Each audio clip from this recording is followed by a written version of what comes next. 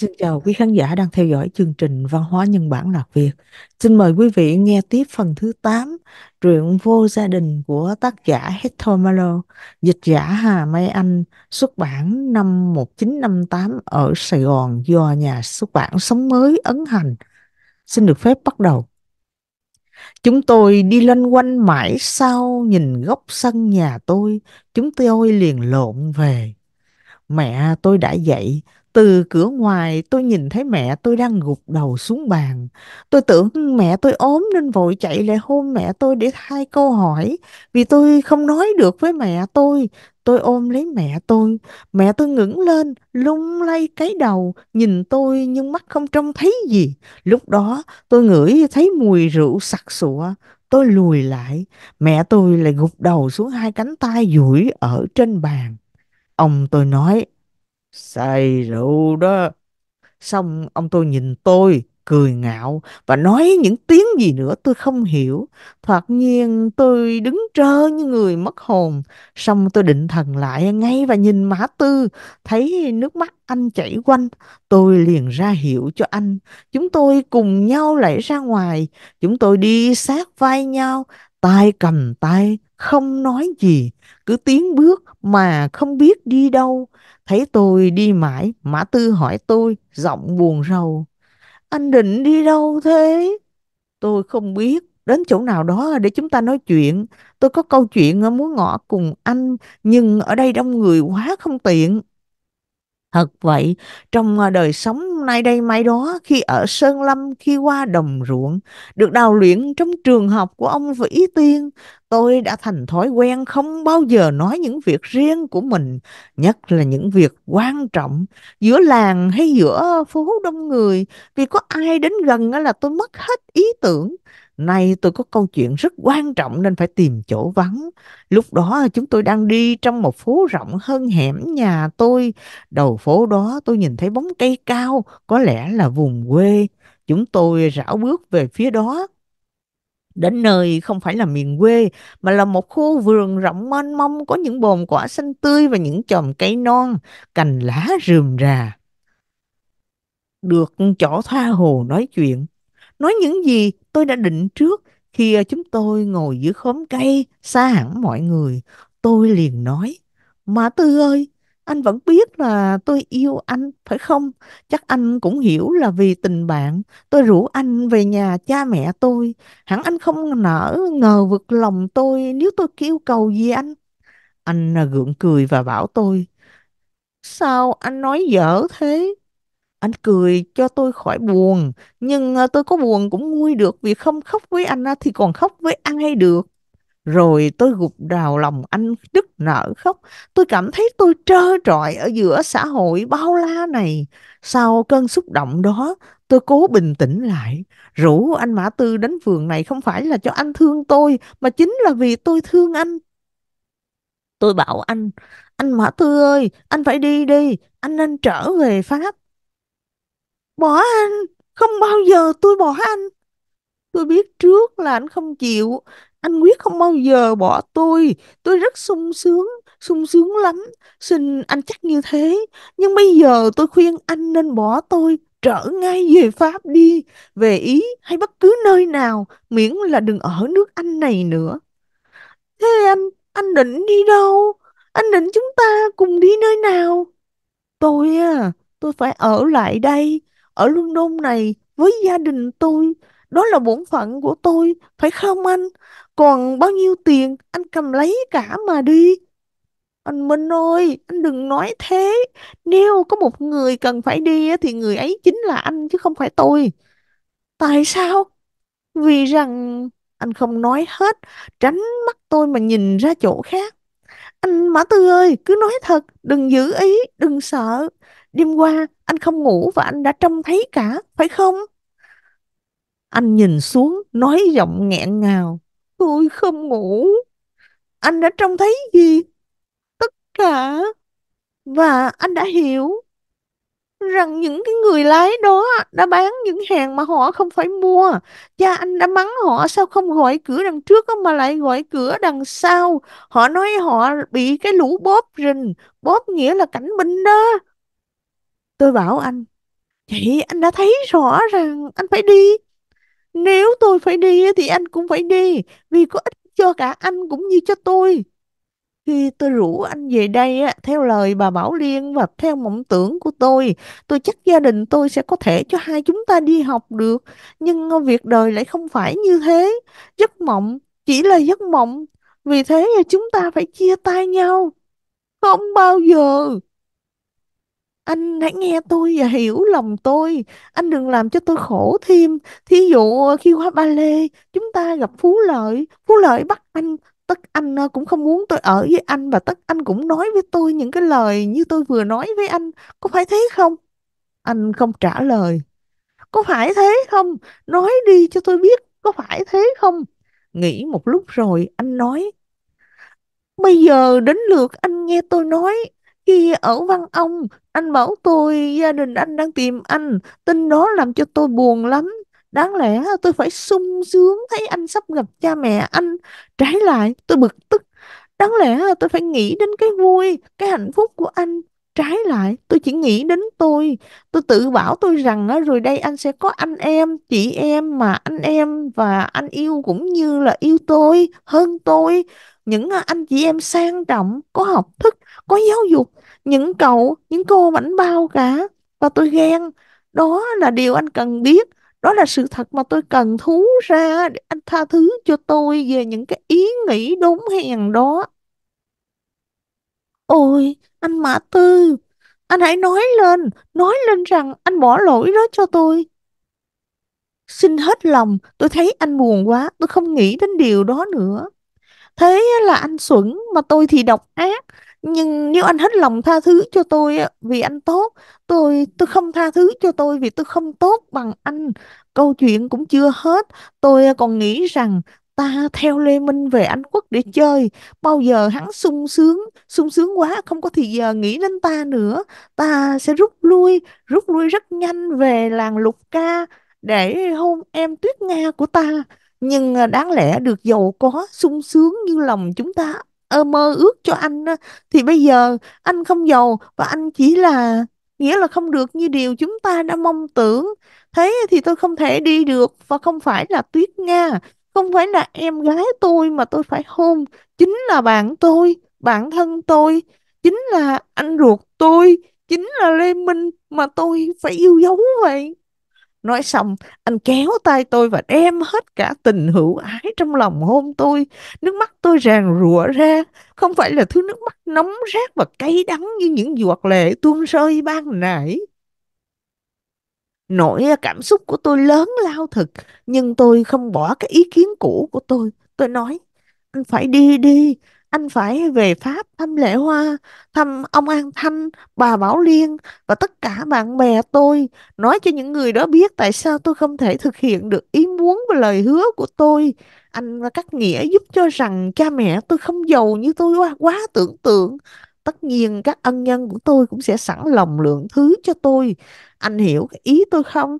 Đấy chứ, cha mẹ tôi không giàu, nói thế là đủ không giàu cái đó cũng không phải là một điều đáng hổ thẹn không phải vì cha mẹ anh không giàu mà anh muốn tôi trở về Pháp nếu chỉ có thế thì tôi không đi đâu cả anh Mã Tư ơi tôi xin anh anh đừng làm tăng mối sầu của tôi vì nó đã lớn lao quá rồi Ồ, không phải tôi muốn ép anh kể ra những điều mà anh cho là đáng xấu hổ. Tôi không có tinh quái, không ranh mãnh. Nhưng nếu tôi không hiểu những cái nó lọt vào đây, anh à, đập tay vào trán, thì ít ra tôi cũng cảm thấy những cái nó đập vào đây. Anh để bàn tay vào trái tim.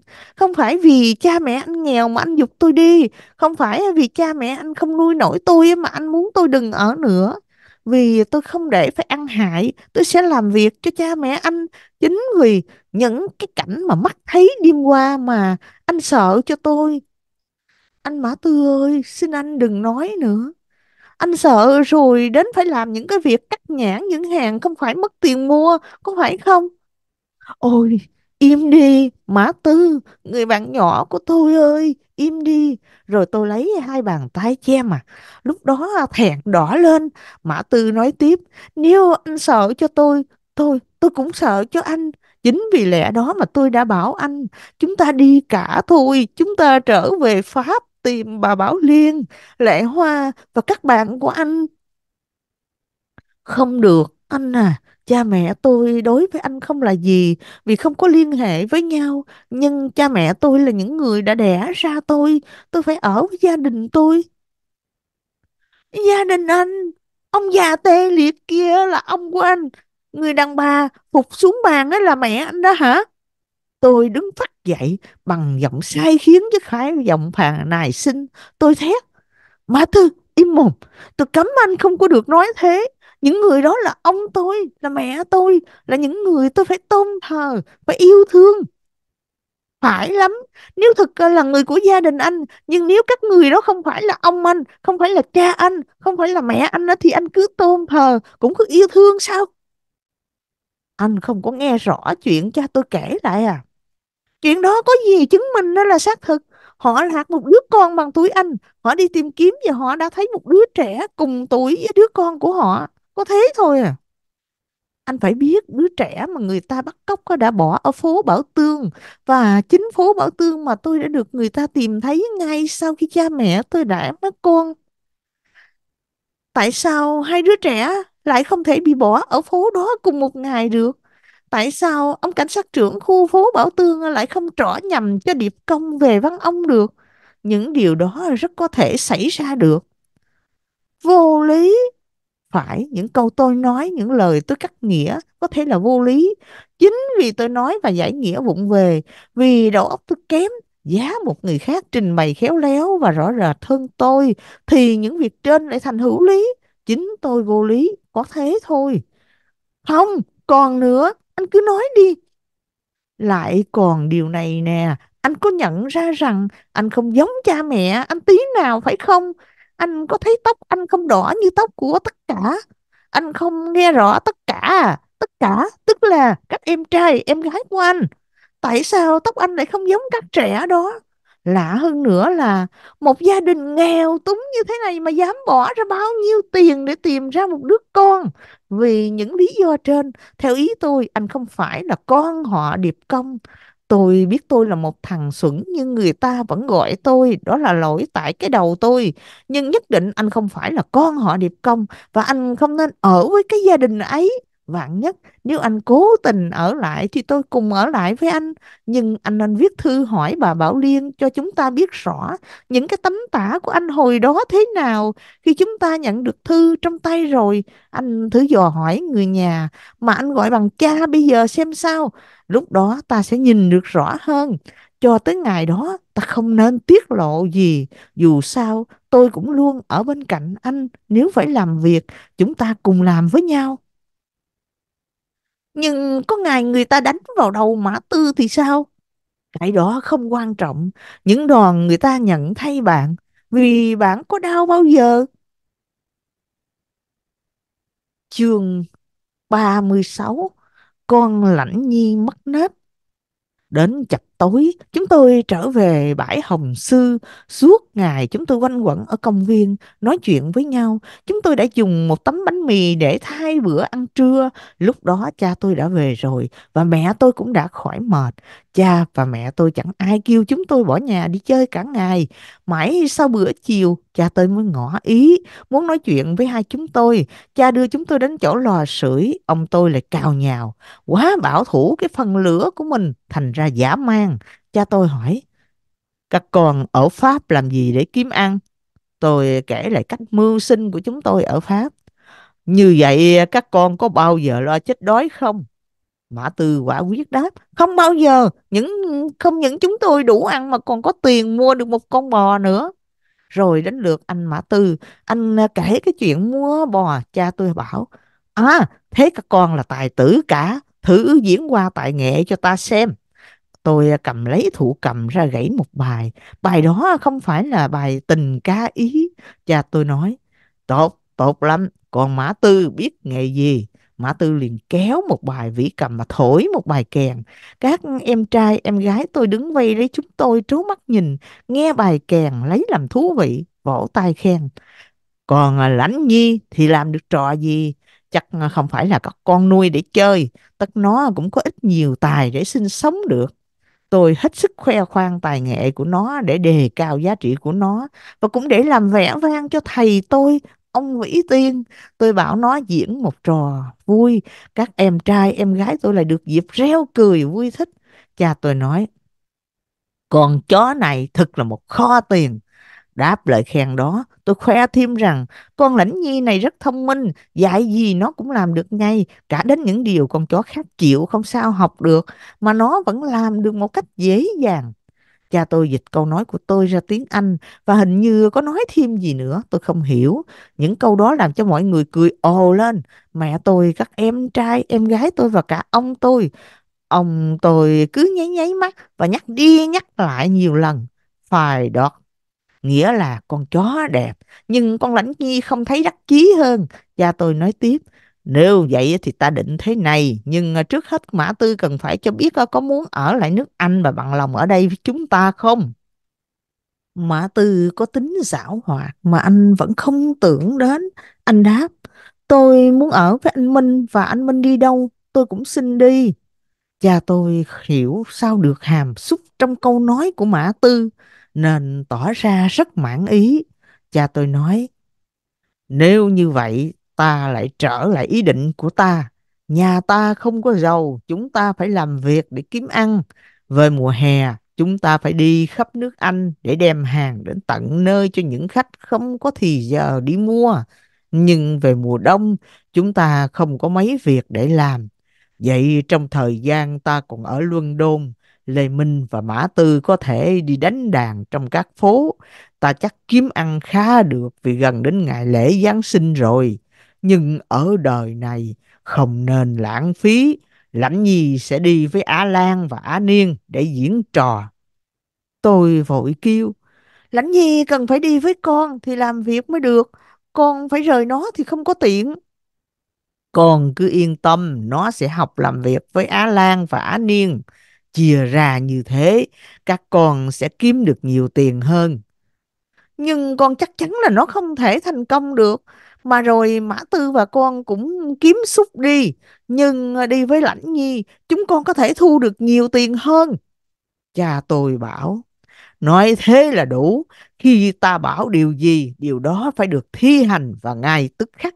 Đó là luật lệ ở nhà này. Ta muốn rằng các con phải tuân lời như các người khác.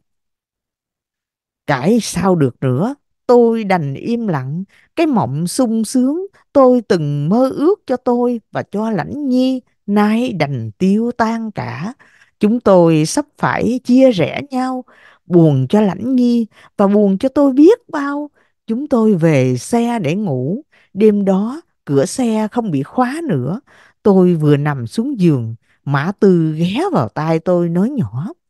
Anh đã thấy chưa? Cái người mà anh gọi là cha không những cần có nhiều trẻ con để làm việc mà còn cần cả những con chó nữa. Bây giờ anh đã mở mắt ra rồi đấy. Sáng mai chúng ta phải viết thư cho bà Bảo Liên ngay đi. Nhưng sáng hôm sau, tôi phải cắt nghĩa cho Lãnh Nhi. Tôi ôm nó vào lòng, áp má vào đầu nó, vuốt ve nó, bảo cho nó biết công việc bây giờ phải như thế và tôi mong nó chịu khó. Con chó đáng thương kia, nó nhìn tôi, nghe tôi rất chăm chú. Khi tôi trao dây cho Á Lan, tôi lại dặn dò một lần nữa. Nó thông minh và dễ bảo quá. Nó buồn rầu, lẳng lặng theo hai anh em Á Lan không kháng cự gì. Còn Mã Tư và tôi, và tôi muốn đích thân đưa chúng tôi đi đến những phố có thể kiếm được nhiều tiền. Chúng tôi đi qua khắp thành phố Luân Đông để đến một khu phố không phú nhất, có những dinh thự tráng lệ, những lâu đài nguy nga, những hoa viên thanh thú trong những phố đẹp và rè hè rộng đó không có những người rách rưới xanh xao, toàn những thiếu phụ xinh tươi, áo quần rực rỡ, những xe ngựa sơn bóng như gương, những con ngựa đẹp và những người đánh xe to béo. Mãi đến tối mịt, chúng tôi mới về đến nhà vì từ phố Quen An đến xóm Hồng Sư xa quá. Tôi mừng rỡ trông thấy Lãnh Nhi lấm láp nhưng vui vẻ. Tôi lấy rơm lau chùi cho nó, lấy chiếc áo da cừu quấn cho nó, rồi đặt nó vào giường tôi. Trong hai kẻ, nó và tôi, ai sung sướng hơn cả? Điều đó khó mà trả lời được. Hơn hai tuần, chúng tôi cứ làm việc như thế. Sáng, Mã Tư và tôi, chúng tôi đi đánh làng rong hết phố này đến phố khác. Đến chiều lại về, còn Lãnh Nhi thì theo Á Lan và Áo Niên diễn trò. Nhưng một buổi tối kia, cha tôi bảo anh em Á Lan phải ở nhà có việc. Chúng tôi có thể đem Lãnh Nhi cùng đi được. Chúng tôi sung sướng quá. Mã Tư và tôi bảo nhau phải cố kiếm nhiều tiền hơn mọi ngày để từ sau được đưa Lãnh Nhi đi mãi. Là việc tranh thủ lại con Lãnh Nhi, chúng tôi không hề tiếc công tiếc sức. Sáng hôm sau, chúng tôi chải chuốt sạch sẽ cho Lãnh Nhi. Ăn sáng xong, chúng tôi lên đường tìm đến những phố có nhiều quý khán giả ăn tiêu rộng mà chúng tôi đã biết Muốn thế, chúng tôi phải đi khắp thành phố London, từ đông sang tây và qua những phố ô, phố Hornbourne và phố Oxford.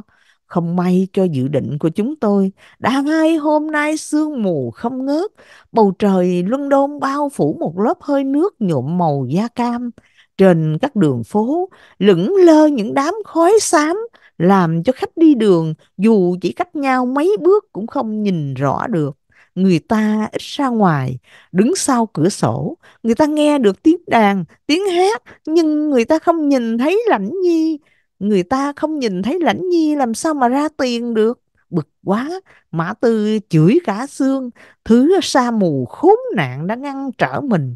Không ngờ, trong lát nữa, chính tấm màn xương khó chịu đó rất có ích cho cả ba chúng tôi. Chúng tôi đi nhanh, Lãnh Nhi theo sau, thỉnh thoảng ờ, tôi gọi một tiếng ờ, để nó khỏi lạc. Cho nó đi tự do như thế còn chắc chắn hơn là cầm dây. Chúng tôi ờ, tới phố Honbo ai cũng biết là một phố buôn bán sầm uất nhất London. Chợt tôi không thấy Lãnh Nhi theo chân tôi nữa. Nó đi đâu rồi? Thực là một cái sự hãn hữu. Tôi liền đứng ở đầu một ngõ con để đợi. Tôi hít sáo để gọi nó, vì xương dày quá không trông xa được. Đợi mãi, tôi đã xin buồn, sợ ai trộm bắt nó rồi. Chợt lãnh nhi ở đâu sầm sầm chạy lại, miệng ngậm một đôi bích tách len và ve vẫy đuôi. Nó chồm lại, hai chân trước bá lấy tôi, dơ đôi bích tách cho tôi và đợi được khen thưởng. Nó có vẻ đắc chí như một người vừa làm được công chuyện gì rất khó khăn. Tôi đứng trơ ra không hiểu gì. Thình lình Mã Tư giật phát lấy đôi bích tất và cầm tay tôi kéo vào trong ngõ. Anh bảo tôi, chúng ta đi nhanh lên nhưng đừng có chạy. Một lúc sau, anh mới bảo tôi à, tại sao chúng ta phải tiến vào lối ấy. Anh nói, Lúc nãy tôi cũng kinh ngạc như anh đang à, nghĩ đôi bích tất đó ở đâu ra. Chợt có tiếng người đàn ông kêu, có kẻ cắp, nó đâu rồi? Kẻ cấp chính là Lãnh Nhi, anh có hiểu không? Nếu không có sương mù thì chúng ta đã bị bắt giam như những kẻ cấp rồi còn gì. Tôi hiểu lắm, tôi tức nghẹn lại, không nói thêm được. Người ta đã luyện con Lãnh Nhi, con Lãnh Nhi ngay thẳng thành một con chó đi ăn cắp Tôi bảo anh Mã Tư, chúng ta trở về đi, buộc dây vào cổ nó mà dắt. Mã Tư không nói câu gì hơn nữa. Chúng tôi bước nhanh về xóm Hồng Sư, đến nhà, cha mẹ và con cái đang mãi gấp vải chung quanh bàn. Tôi ném đôi bích tất mới vào bàn. Á Lan và Á Niên cười ầm lên. Tôi nói, đây là đôi bích tất mà con Lãnh Nhi vừa ăn cắp được. Vì người ta đã dạy nó ăn cắp. Con tưởng dạy thế để chơi thôi. Tôi nói giọng run run nhưng không kém phần cương quyết. Cha tôi hỏi. Nếu dạy thế không phải để chơi á, thì mày làm gì? Nói cho ta nghe. Con sẽ lấy dây buộc vào cổ nó. Mặc dầu con thương nó. Con quyết dìm nó xuống sông Tami nếu nó còn làm thế. Con không muốn con lãnh nhi thành kẻ cấp Và con cũng không muốn cả con là đứa ăn cắp. Nếu mai mốt việc đó xảy đến cho con, con quyết sẽ gieo mình xuống sông theo lãnh nhi ngay lập tức. Cha tôi trông thẳng mặt tôi, giận dữ, trợn mắt nhìn để áp bức tôi. Tôi cũng dương mắt nhìn lại. Nét mặt cha tôi bỗng dịu dần. Cha tôi bảo, Còn nói phải đấy, dạy thế để chơi thôi. Muốn cho việc đó không xảy ra nữa. Từ nay cho Lãnh Nhi đi kèm với con. Chương 37 Những cái tả đẹp nói sai Trước sự niềm nở làm thân của tôi, các em tôi, Á Lan cũng như Á Niên đều ghét bỏ hằn thù. Tất cả những gì tôi làm cho chúng, chúng đều hắc hủi, coi tôi không phải là anh em với chúng. Sau việc lãnh nhi xảy ra, tình thế lại càng gây go giữa tôi và các em tôi. Tôi phải ra hiệu bằng hai nắm tay cho chúng biết, vì tôi không diễn đạt được ý của tôi bằng tiếng Anh, rằng nếu chúng động vào con lãnh nhi, tôi sẽ quyết chống lại để trả thù. Em trai bỏ tôi, tôi đành thân với các em gái vậy. Nhưng thái độ của Á Ninh, em gái lớn tôi, cũng chẳng khác gì thái độ của hai em trai tôi. Ngày nào Á Ninh cũng kiếm chuyện với tôi và khoa kiếm chuyện đó rất là tài. Các em trai ghét, em gái lại hắt hủi. Tôi chỉ còn em gái út tôi, em Cát mới lên ba, còn nhỏ quá không biết bè về bè với các anh chị. Em Cát để cho tôi vuốt ve em. Trước hết vì tôi bảo Lãnh Nhi làm trò cho em xem. Sau vì tôi thường đem kẹo và cam về cho em ăn. Những quà này tôi không phải mua. Trong những buổi diễn trò của chúng tôi, nhiều em bé thích Lãnh Nhi mà trao cho. Buồn cười khi các em đưa cam và bảo để cho chó. Thật là vô nghĩa, nhưng tôi rất vui lòng và cảm ơn vì nhờ những thứ đó mà tôi được lòng em Cát. Xem thế nội gia đình tôi, cái gia đình mà tôi đã đặt bao nhiêu tình yêu thương vào đó khi bước chân xuống tàu sang Anh Quốc.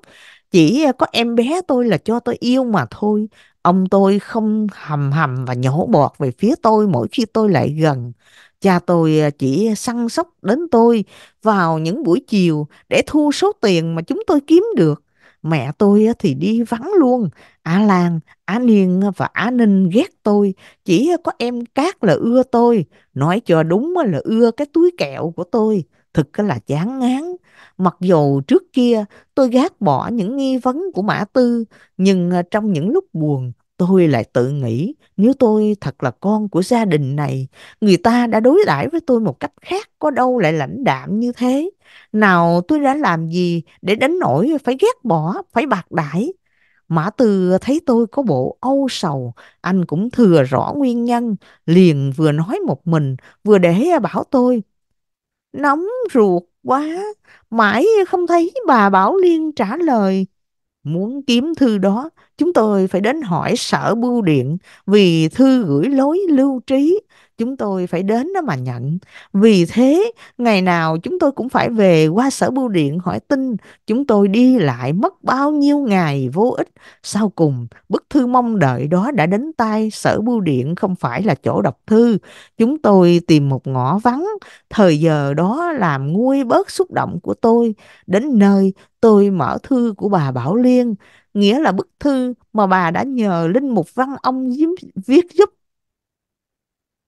Lê Minh yêu quý của ta ơi, tiếp được thư con, ta rất lấy làm kinh ngạc và bực tức. Theo lời ông Bảo Liên ngày trước nói chuyện với ta sau khi thấy con ở phố Bảo Tương, cũng như sau khi tiếp chuyện với ông khách đến tìm con, thì ta tin rằng cha mẹ con phải là một gia đình khá giả, một gia đình phú quý, Điều đó rất có thể tin được căn cứ vào cách ăn mặc của con, khi ông Bảo Liên ẩm con về làng Văn Ông. Những đồ mặc của con tỏ ra là những đồ mặc của một đứa con nhà giàu. Con có hỏi ta những đồ mặc và những tả bọc đó thế nào?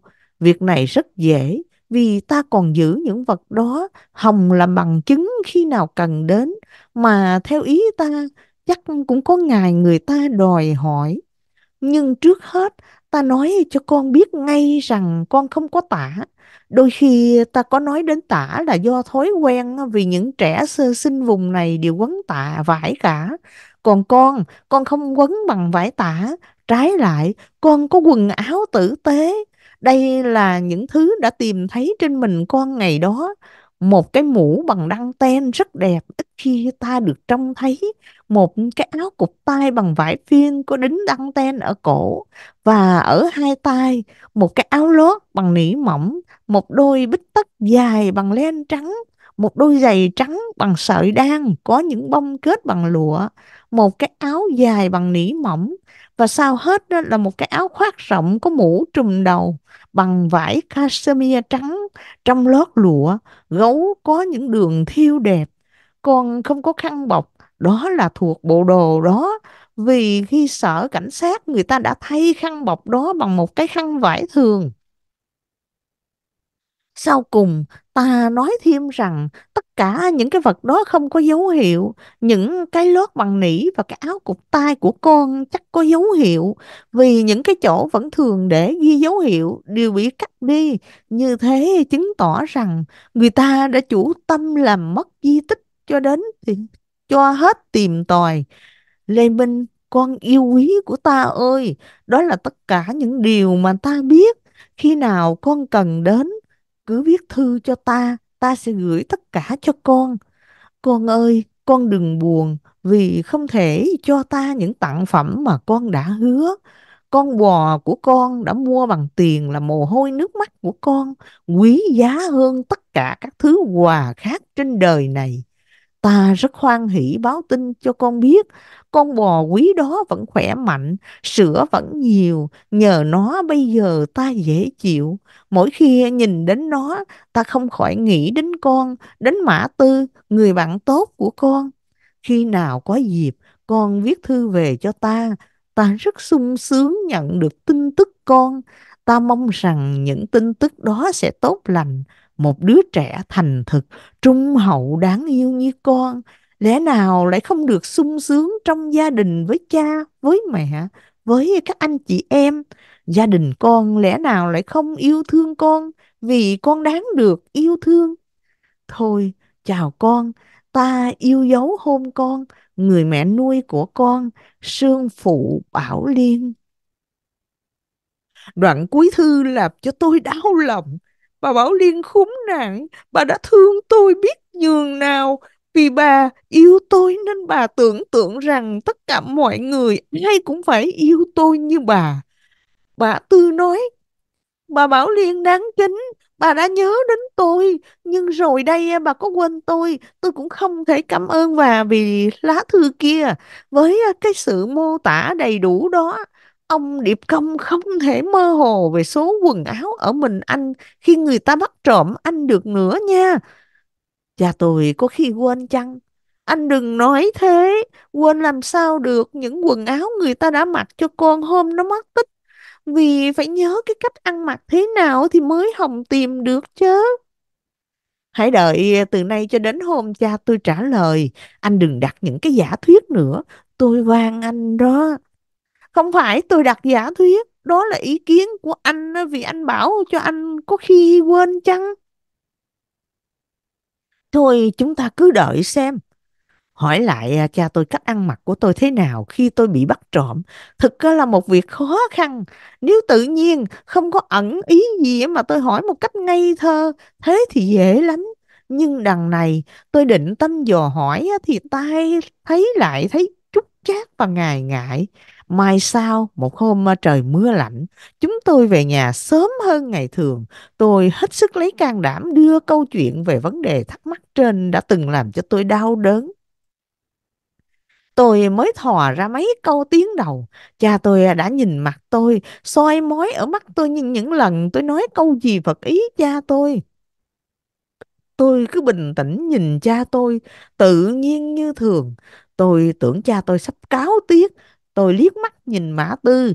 Lúc đó anh ngồi xả vờ như không để ý gì cả. Có ý bảo cho anh biết là anh đã suối dại tôi. Nhưng à, cha tôi không làm gì cả. Khi tức đã bốc hết rồi, cha tôi mỉm cười có vẻ thâm độc nhưng cũng là một nụ cười. Cha tôi nói, cái đã làm cho ta dễ tìm thấy con chính là cách ăn mặc của con trong cái ngày con bị bắt trộm. Một cái mũ vải viền đăng ten, một cái áo cục tay cũng có tăng ten, một tấm lót và một cái áo dài bằng nỉ mỏng, một đôi bít tất len, một đôi giày đan, một cái áo choàng có mũ chùm đầu bằng cashmere trắng, gấu thêu Ta hy vọng nhiều nhất vào những cái dấu hiệu DP ghi ở các vật đó. DP có nghĩa là điệp công phan, tên của con, nhưng à, thiếu nữ bắt trộm con đã khôn khéo cắt mất hai chữ đó để mất lối tìm kiếm. Ta đã phải xuất trình giấy chứng thư rửa tội xin ở nhà thờ. Người ta đã trả lại và hiện giờ ta còn giữ ở đây. Nói xong, cha tôi vui vẻ, cái vui vẻ bất thường Lục ở ngăn kéo lấy ra một tờ giấy lớn, có nhiều dấu đưa cho tôi xem. Tôi ờ, cố can đảm nói, nếu cha vui lòng, cha cho Mã Tư xem. Tốt lắm, Mã Tư ờ, dịch câu được câu chăng cho tôi nghe. Tôi sinh ngày mồng 2 tháng 8 là con trai ông Điệp Công Tích và bà Mạc Sa Lan, vợ ông. Còn hỏi thêm gì nữa? Tuy nhiên Mã Tư vẫn không chịu. Tối đến khi chúng tôi vào xe ngủ, anh lại ghé vào tai tôi, nói nhỏ như còn một cái điều bí mật nữa. Anh nói, tất cả những cái điều ta đã nghe đó hay thật nhưng chưa đủ giải thích cho ta tin rằng ông Điệp Công Tích và bà Mạc Gia Lan, vợ ông, dù có thế nào mà may mặc cho con nào là mũ đăng tên nào là áo cánh đăng tên áo dài thiếu gấu. Những người lái buôn rong không phú quý như thế được. Chính vì ờ, cha mẹ tôi là lái buôn rong nên những quần áo đó mới dễ kiếm và rẻ tiền. Mã Tư thở dài và lắc đầu.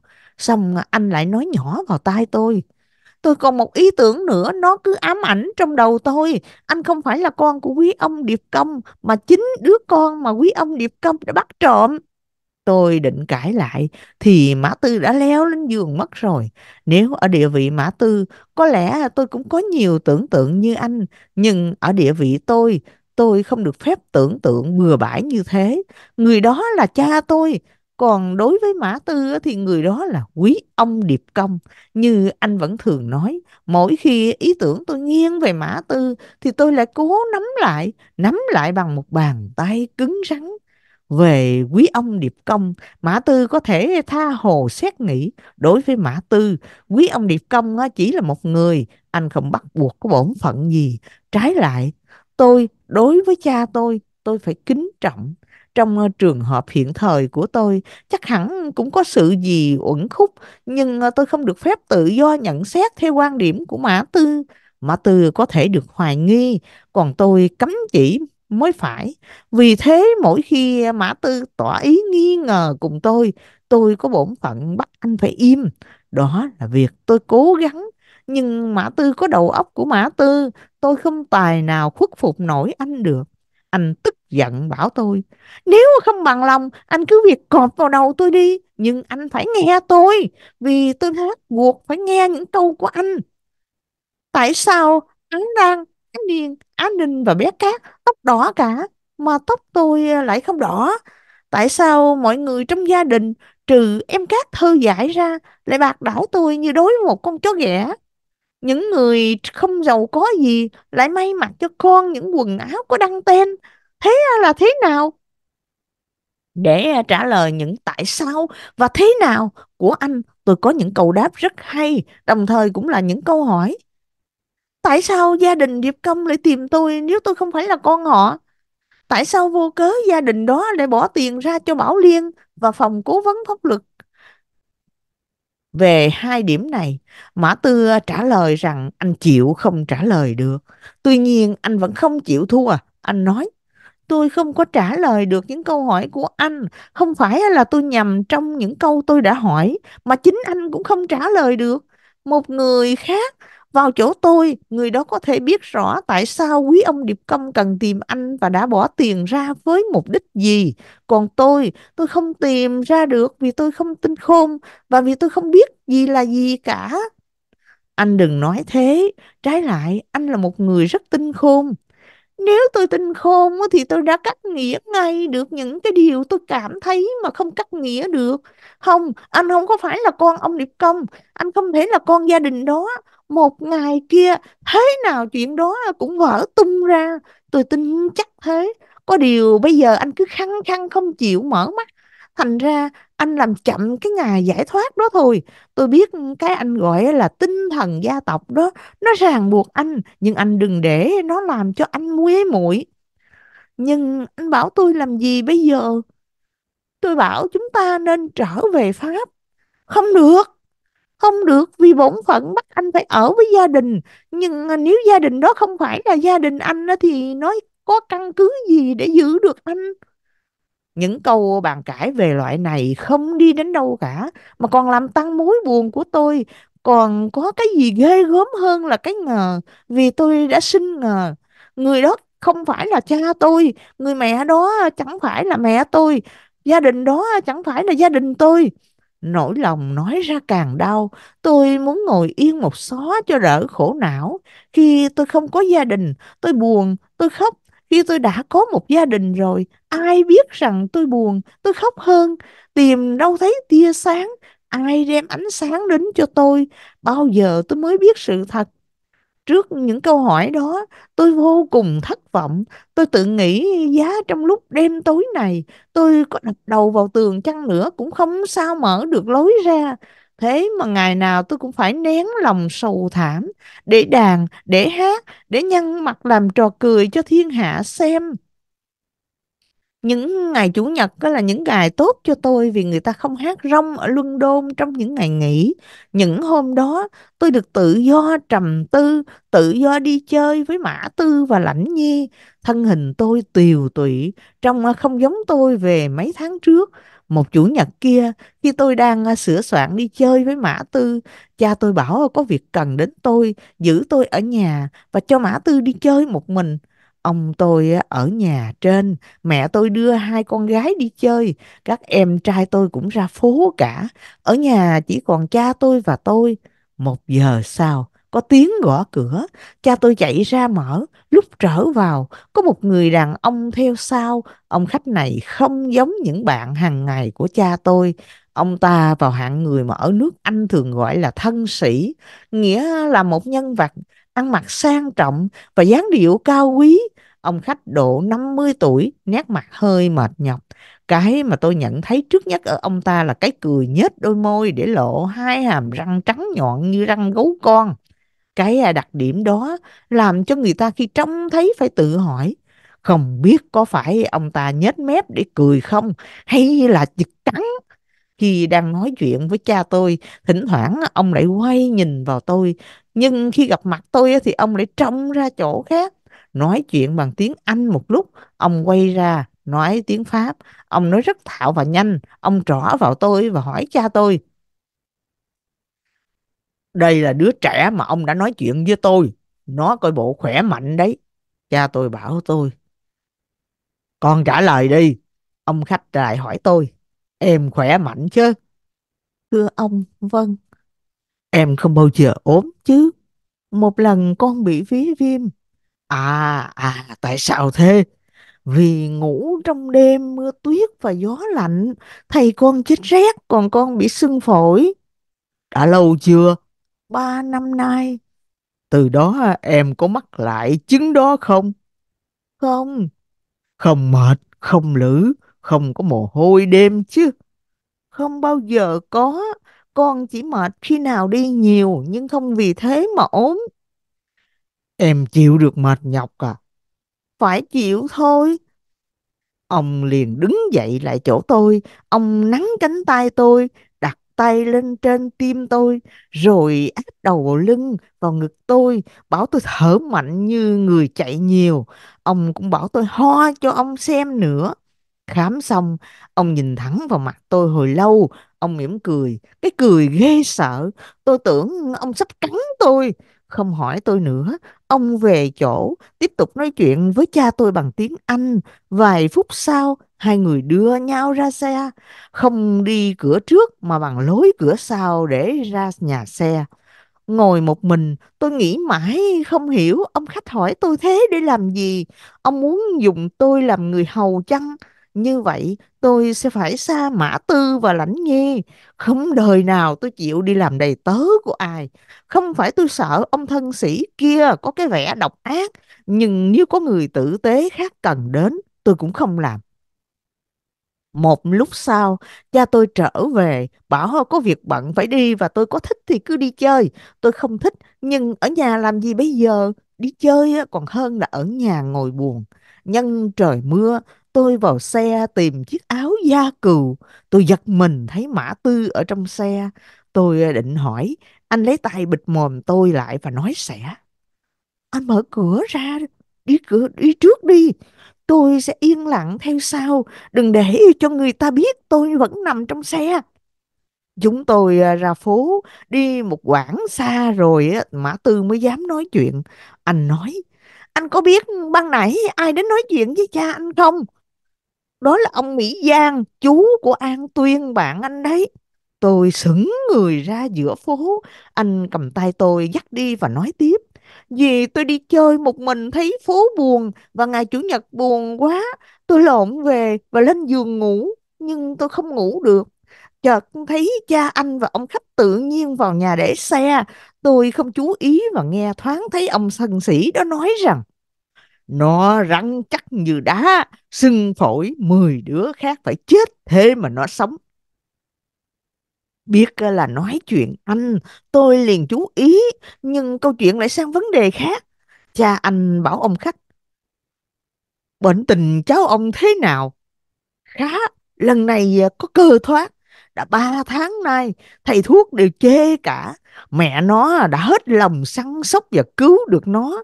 Bà Mỹ Lưu thật là một người mẹ hy sinh vì con.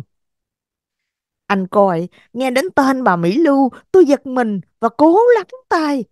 Cha anh hỏi tiếp, nếu ờ, cháu ông không có việc gì thì mọi đề phòng của ông thành ra vô ích cả. Ông khách đáp, trong lúc này thì thế, nhưng tôi không tin rằng An Tuyên sống. Nếu nó sống thì chẳng phải là một phép màu sao? Trong đời này làm gì có phép màu nữa? Sau này nó chết, phải tránh mọi trở ngại để người độc nhất thừa kế phải là Mỹ Giang mới được. Cha anh nói, xin ông yên tâm việc đó tôi xin cam đoan giúp đỡ ông. Ông thần sĩ nói, tôi rất trông cậy vào ông. Rồi ông ta nói thêm nhiều tiếng mà tôi không hiểu rõ. Đại khái là hiện thời ta phải xử trí cái khoản đó. Thế rồi ông ta ra ra về. Nghe xong câu chuyện, tôi trực chạy luôn về hỏi cha tôi cái địa chỉ của ông Mỹ Giang để viết thư hỏi thăm bà Mỹ Lưu và cậu An Tuyên. Nhưng à, tôi nghĩ ngay ra đó là một việc rất khờ dại. Tìm đến người đang mong cho cháu mình chết mà hỏi tin tức đứa cháu đó, có phải là ngu không? Vả lại làm thế có phải là tự tố giác mình là người đã đi nghe trộm không? An Tuyên còn sống và đã bình phục. Hiện thời chỉ một tin đó cũng đủ làm cho tôi mừng lắm rồi. Chương 38 Đêm Giáng sinh Ngày nào chúng tôi cũng chỉ nói đến chuyện cậu An Tuyên và bà Mỹ Lưu, đến chuyện ông Mỹ Giang, cậu An Tuyên và bà mẹ cậu bây giờ ở đâu, chúng tôi làm thế nào mà tìm thấy bà. Cuộc đến thăm của ông Mỹ Giang đã gợi ra cho chúng tôi một cái ý nghĩ và gây thành một cái chương trình hành động mà kết quả có thể tin được là mỹ mãn. Ông Mỹ Giang một lần đã để chân đến xóm Hồng Sư. Rất có thể ông lại đến lần thứ hai, thứ ba nữa. Ông chả có việc giao dịch với cha tôi là gì. Thế rồi, khi ông trở ra, Mã Tư, ông không biết mặt sẽ theo hút ông và biết được địa chỉ. Rồi chúng tôi dò hỏi người nhà và đầy tớ, tất nhiên sẽ biết được chỗ ở của cậu An Tuyên. Sao lại không biết được? Tôi tin chắc là phải thành công. Cái chương trình tốt đẹp đó không những có lợi cho tôi là sẽ được gặp cậu An Tuyên, lại còn cái lợi hiện thời là làm cho tôi bớt phiền muộn. Sau việc Lãnh Nhi xảy ra, sau ngày bà Bảo Liên trả lời, Mã Tư không thôi nhắc tôi, chúng ta phải trở về Pháp. Đó là một điệp khúc mà tôi phải nghe luôn. Tôi cũng trả lại anh bằng một điệp khúc khác. Tôi không thể bỏ gia đình tôi Chúng tôi không sao đồng ý nhau được vì ai cũng cố giữ vững cái lập trường của mình. Anh phải đi, tôi phải ở. Nhưng từ khi câu đáp tôi phải ở, có thêm túc từ Để tìm An Tuyên thì Mã Tư không còn lý gì để cãi lại nữa. Anh không chống lại An Tuyên vì nên hay đừng cho bà Mỹ Lưu biết âm mưu của em chồng bà. Muốn đợi Mỹ Giang mà chúng tôi cứ phải à, sáng đi tối về như lệ thường từ ngày đến Luân đông tới nay thì bao giờ gặp được. Mai sau đã gần đến vụ nghỉ đàn hát ban ngày để đi trình diễn về đêm, nghĩa là đến vụ hòa nhạc về lễ, dịp lễ Giáng sinh. Lúc đó được ở nhà suốt ngày, chúng tôi sẽ thay phiên nhau tuần phòng, thì thế nào cũng bắt gặp được à, chú cậu An Tuyên. Một hôm Mã Tư bảo tôi, anh có biết tôi mong mỏi được gặp bà Mỹ Lưu không? Tại sao? Anh ngập ngừng hồi lâu rồi nói, vì bà đã thương yêu anh lắm. Rồi anh nói thêm, và may ra bà có thể làm cho anh tìm thấy cha mẹ thật anh. Mã Tư, tôi không muốn nói ra, nhưng ờ, không phải lỗi tại tôi vì không một phút nào mà tôi không nghĩ rằng anh không phải là con gia đình điệp công. Anh hãy nhìn tất cả những người trong nhà đó rồi anh nhìn lại anh xem. Tôi không nói đến màu tóc nữa. Anh có thấy cái cử động của bàn tay và cái cười giả tạo của ông anh không? Nếu tôi không phải là con cha tôi thì sao tôi lại không học và và biết thổi kèn, đánh vĩ cầm và biết dùng các thứ nhạc khí khác? Cha tôi là nhạc công, tôi cũng thành nhạc công, đó là lẽ tất nhiên. Còn anh, tôi trông có ra dáng điệu thiên nhiên của một trang thân sĩ. Anh tất thành một thanh sĩ khi anh được gặp bà Mỹ Lưu. Tại sao thế? Tôi nghĩ thế. Anh cho tôi biết ý nghĩ của anh. Không, ồ tôi không thể nói được. Bởi vì, bởi vì ý nghĩ của tôi nó xuẩn quá. Thì sao? Nếu ý nghĩ đó không có đúng, nó lại thành ra ngu. Không nên tạo ra những cái vui để mừng hụt. Cái kinh nghiệm về màu xanh của tên phố Betno, thành viên đã cho ta một bài học. Chúng ta có tìm thấy những cánh đồng cỏ ở đấy không? Hay chỉ toàn những áo bùn? Tôi không ép anh nói vì tôi tôi cũng có một ý kiến. Ý kiến của tôi nghĩ kỹ ra cũng mơ hồ lộn xộn, rụt rè và có lẽ xuẩn hơn ý kiến của Mã Tư. Nên vì thế mà tôi không dám nài anh ngỏ ý kiến của anh cho tôi nghe. Tôi cũng sẽ trả lời anh sau. Nếu ý kiến anh cũng giống cái ý kiến đang bồng bềnh vô định trong đầu tôi như ở một giấc mơ. Tôi không dám phát biểu ra vì tôi không có can đảm bàn cãi với anh điều đó. Chỉ còn cách đó thôi, chúng tôi đợi. Trong khi chờ đợi, chúng tôi tiếp tục hát rong trong thành phố Luân Đôn. Chúng tôi không phải là những nhạc sĩ, anh chị có hẳn một khu phố riêng để ngự trị. Chúng tôi là những đứa trẻ con và mới đến, không nắm được một phố nào, phải nhường chỗ cho các bậc đàn anh đòi quyền sở hữu của mình bằng những luận điệu mà chúng tôi không sao đầu được. Đã bao nhiêu lần chúng tôi vừa hát xong đang lãnh tiền thì phải bỏ chạy cho nhanh vì gặp bọn hát Tô Cách Lan. Đàn ông thì để đùi trần, đàn bà thì vẫn váy xếp nếp. Họ mặc áo tơi vải, đội mũ vải, cắm những chiếc lông chim dài. Chỉ nghe thấy tiếng kèn của họ là chúng tôi phải chạy rồi. Lại còn những bọn nhạc công da đen đi xông xáo khắp các phố mà chúng tôi rất sợ.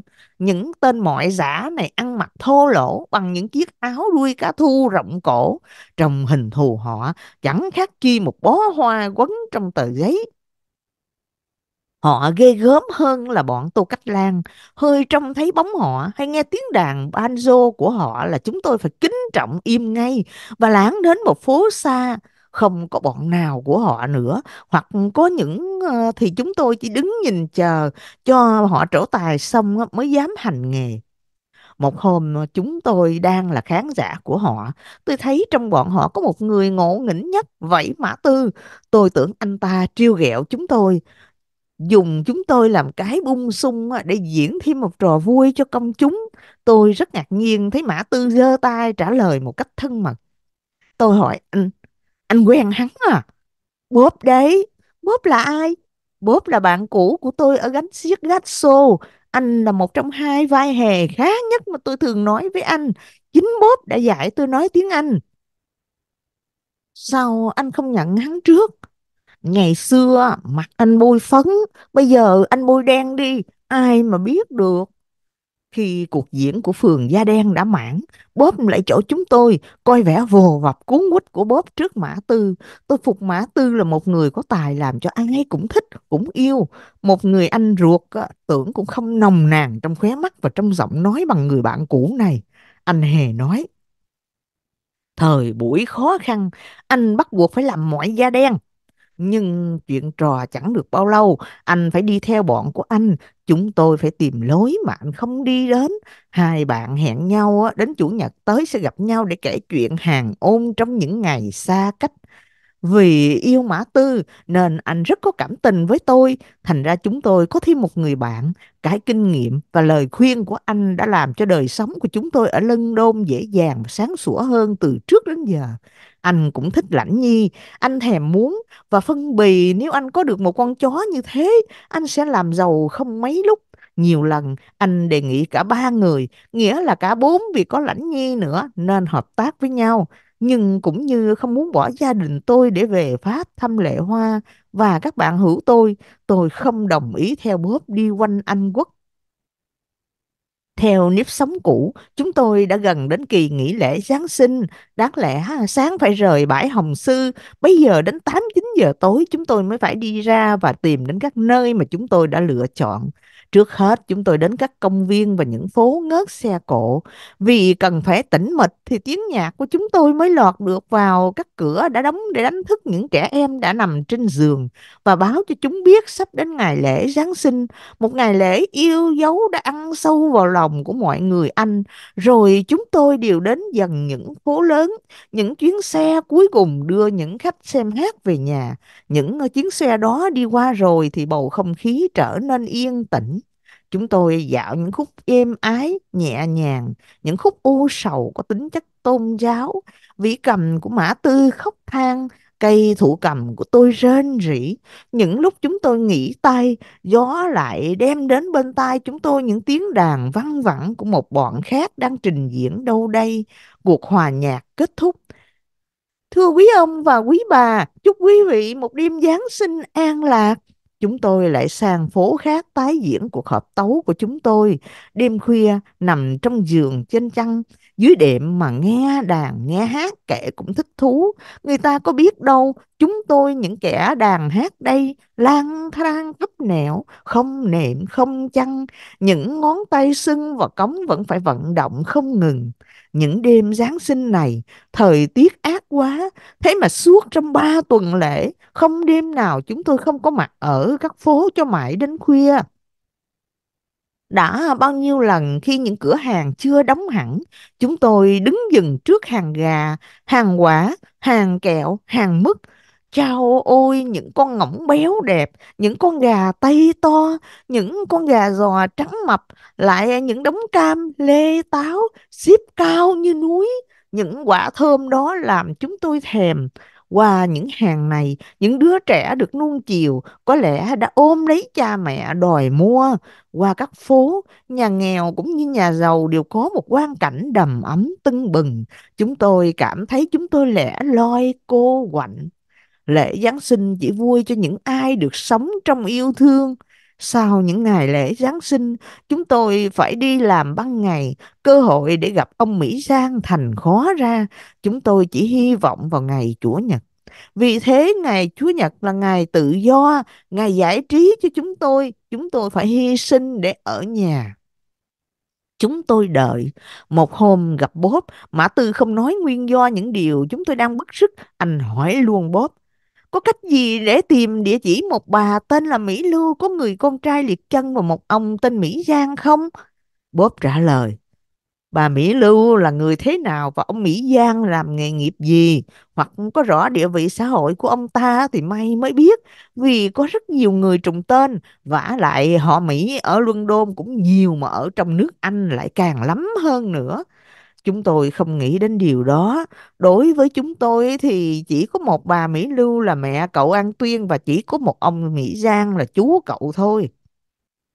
Lúc đó, Mã Tư lại giục tôi trở về Pháp. Tôi bảo anh, vậy anh không muốn tìm bà Mỹ Lưu nữa hay sao? Không phải thế, nhưng không có cái gì chứng tỏ là bà hiện ở nước Anh. Càng không có cái gì chứng cớ là bà đang ở Pháp. Điều này à, có lẽ đúng vì An Tuyên còn ốm, tất bà phải đưa con đến một xứ có khí hậu thích hợp cho sức khỏe của con. Không phải chỉ nước Pháp mới có khí hậu tốt. Lần trước, cậu sang Pháp mà khỏi bệnh, lần này tất bà lại đưa cậu sang đó, vả lại tôi muốn anh rời khỏi nơi này. Tôi không dám hỏi anh tại sao phải bỏ đi, tôi sợ anh trả lời đúng như điều mà tai tôi không muốn nghe. Anh nói tiếp. Tôi sợ lắm, chúng ta đi đi thôi. Ở đây thế nào rồi cũng xảy ra tai họa cho chúng ta. Đi đi thôi. Cách cư xử của gia đình tôi đối với tôi vẫn không thay đổi. Ông tôi vẫn giận dữ nhổ bọt về phía tôi. Cha tôi thỉnh thoảng chỉ có việc sai khiến tôi. Mẹ tôi không bao giờ nhìn đến tôi. Các em trai tôi lúc nào cũng tìm cách hại ngầm tôi. Em gái lớn tôi, hãy nhìn thấy mặt tôi là sinh sự. Còn em Cát chỉ yêu gói kẹo của tôi đem về thôi. Nhưng dù sao tôi cũng không thể theo lời khuyên của Mã Tư, cũng không thể tin anh bảo tôi không phải là con của ông quý ông Điệp Công. Ngờ, tôi có thể ngờ lắm, nhưng tin chắc là phải hay không là con Điệp Công thì tôi không tin được. Thì giờ đi thông thả, thông thả lắm, nhưng cứ đi đều, hết những ngày này lại đến những ngày khác, hết những tuần lễ này lại đến những tuần lễ khác. Đã đến lúc gia đình tôi phải rời Luân Đôn để đi các vùng quê trong nước. Hai chiếc xe ngựa mới sơn lại, người ta xếp chặt ních hàng hóa để đem bán trong những mùa nắng ráo.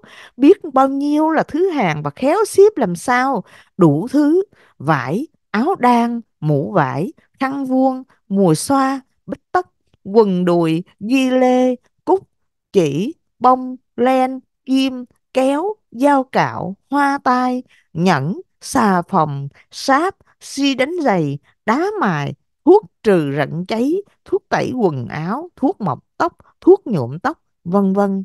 Khi à, chúng tôi ở đó, chúng tôi trông thấy à, đem ở hầm lên những cái bao hàng lớn. Những bao hàng này đã không được trực tiếp và đàng hoàng đem đến từ hiệu chính tới xóm Hồng Sư. Sau cùng, hai xe ngựa đầy hàng ấm ấp, những con ngựa không biết mua ở đâu và từ lúc nào cũng thấy dắt đến, mọi việc đều chuẩn bị để lên đường. Còn chúng tôi, chúng tôi sẽ phải làm gì? Ở lại với ông tôi ở London để giữ nhà hay sao? Đi bán hàng như Á Lan, Á Niên hay sao? Hay à, chúng tôi phải theo xe hàng để tiếp tục làm nghề diễn trò ở các làng, các tỉnh mà chúng tôi sẽ đi qua?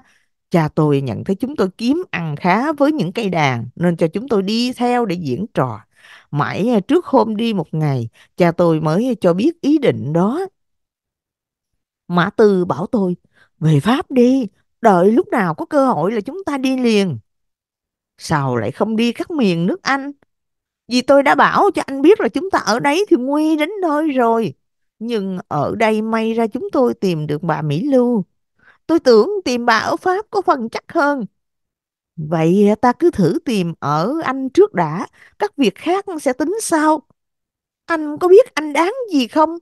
Không, đáng tôi phải bỏ anh để về Pháp một mình. Anh nói rất phải, tôi muốn anh trở về Pháp. Tôi biết tôi không có quyền giữ anh, tôi cũng biết anh rất tốt đã ở lại với tôi.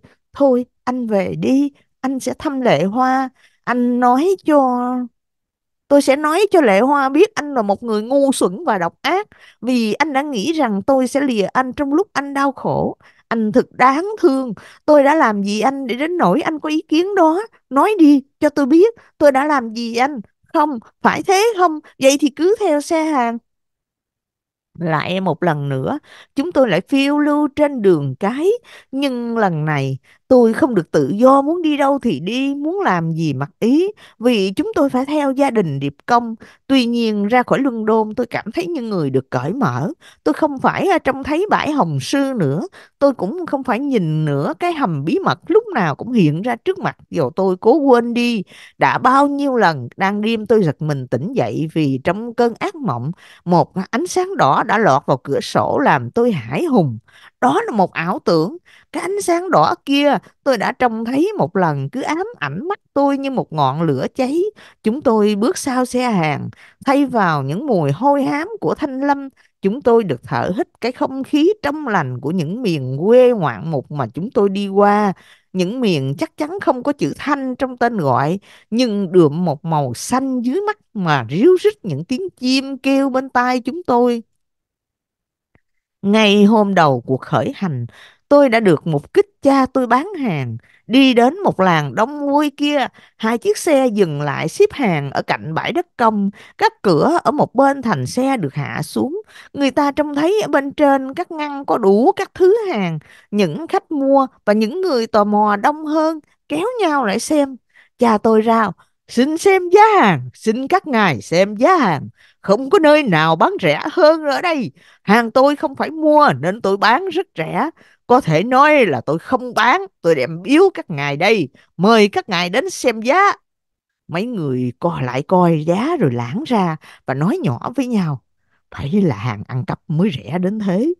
Thì chính lão ta nói thế mà. Nếu họ đưa mắt nhìn tôi lúc đó, họ sẽ thấy sắc đỏ của mặt tôi đã tiết lộ là lời dự đoán của họ là đúng. Tuy họ không nhìn thấy sắc mặt tôi, nhưng Mã Tư đã nhận thấy.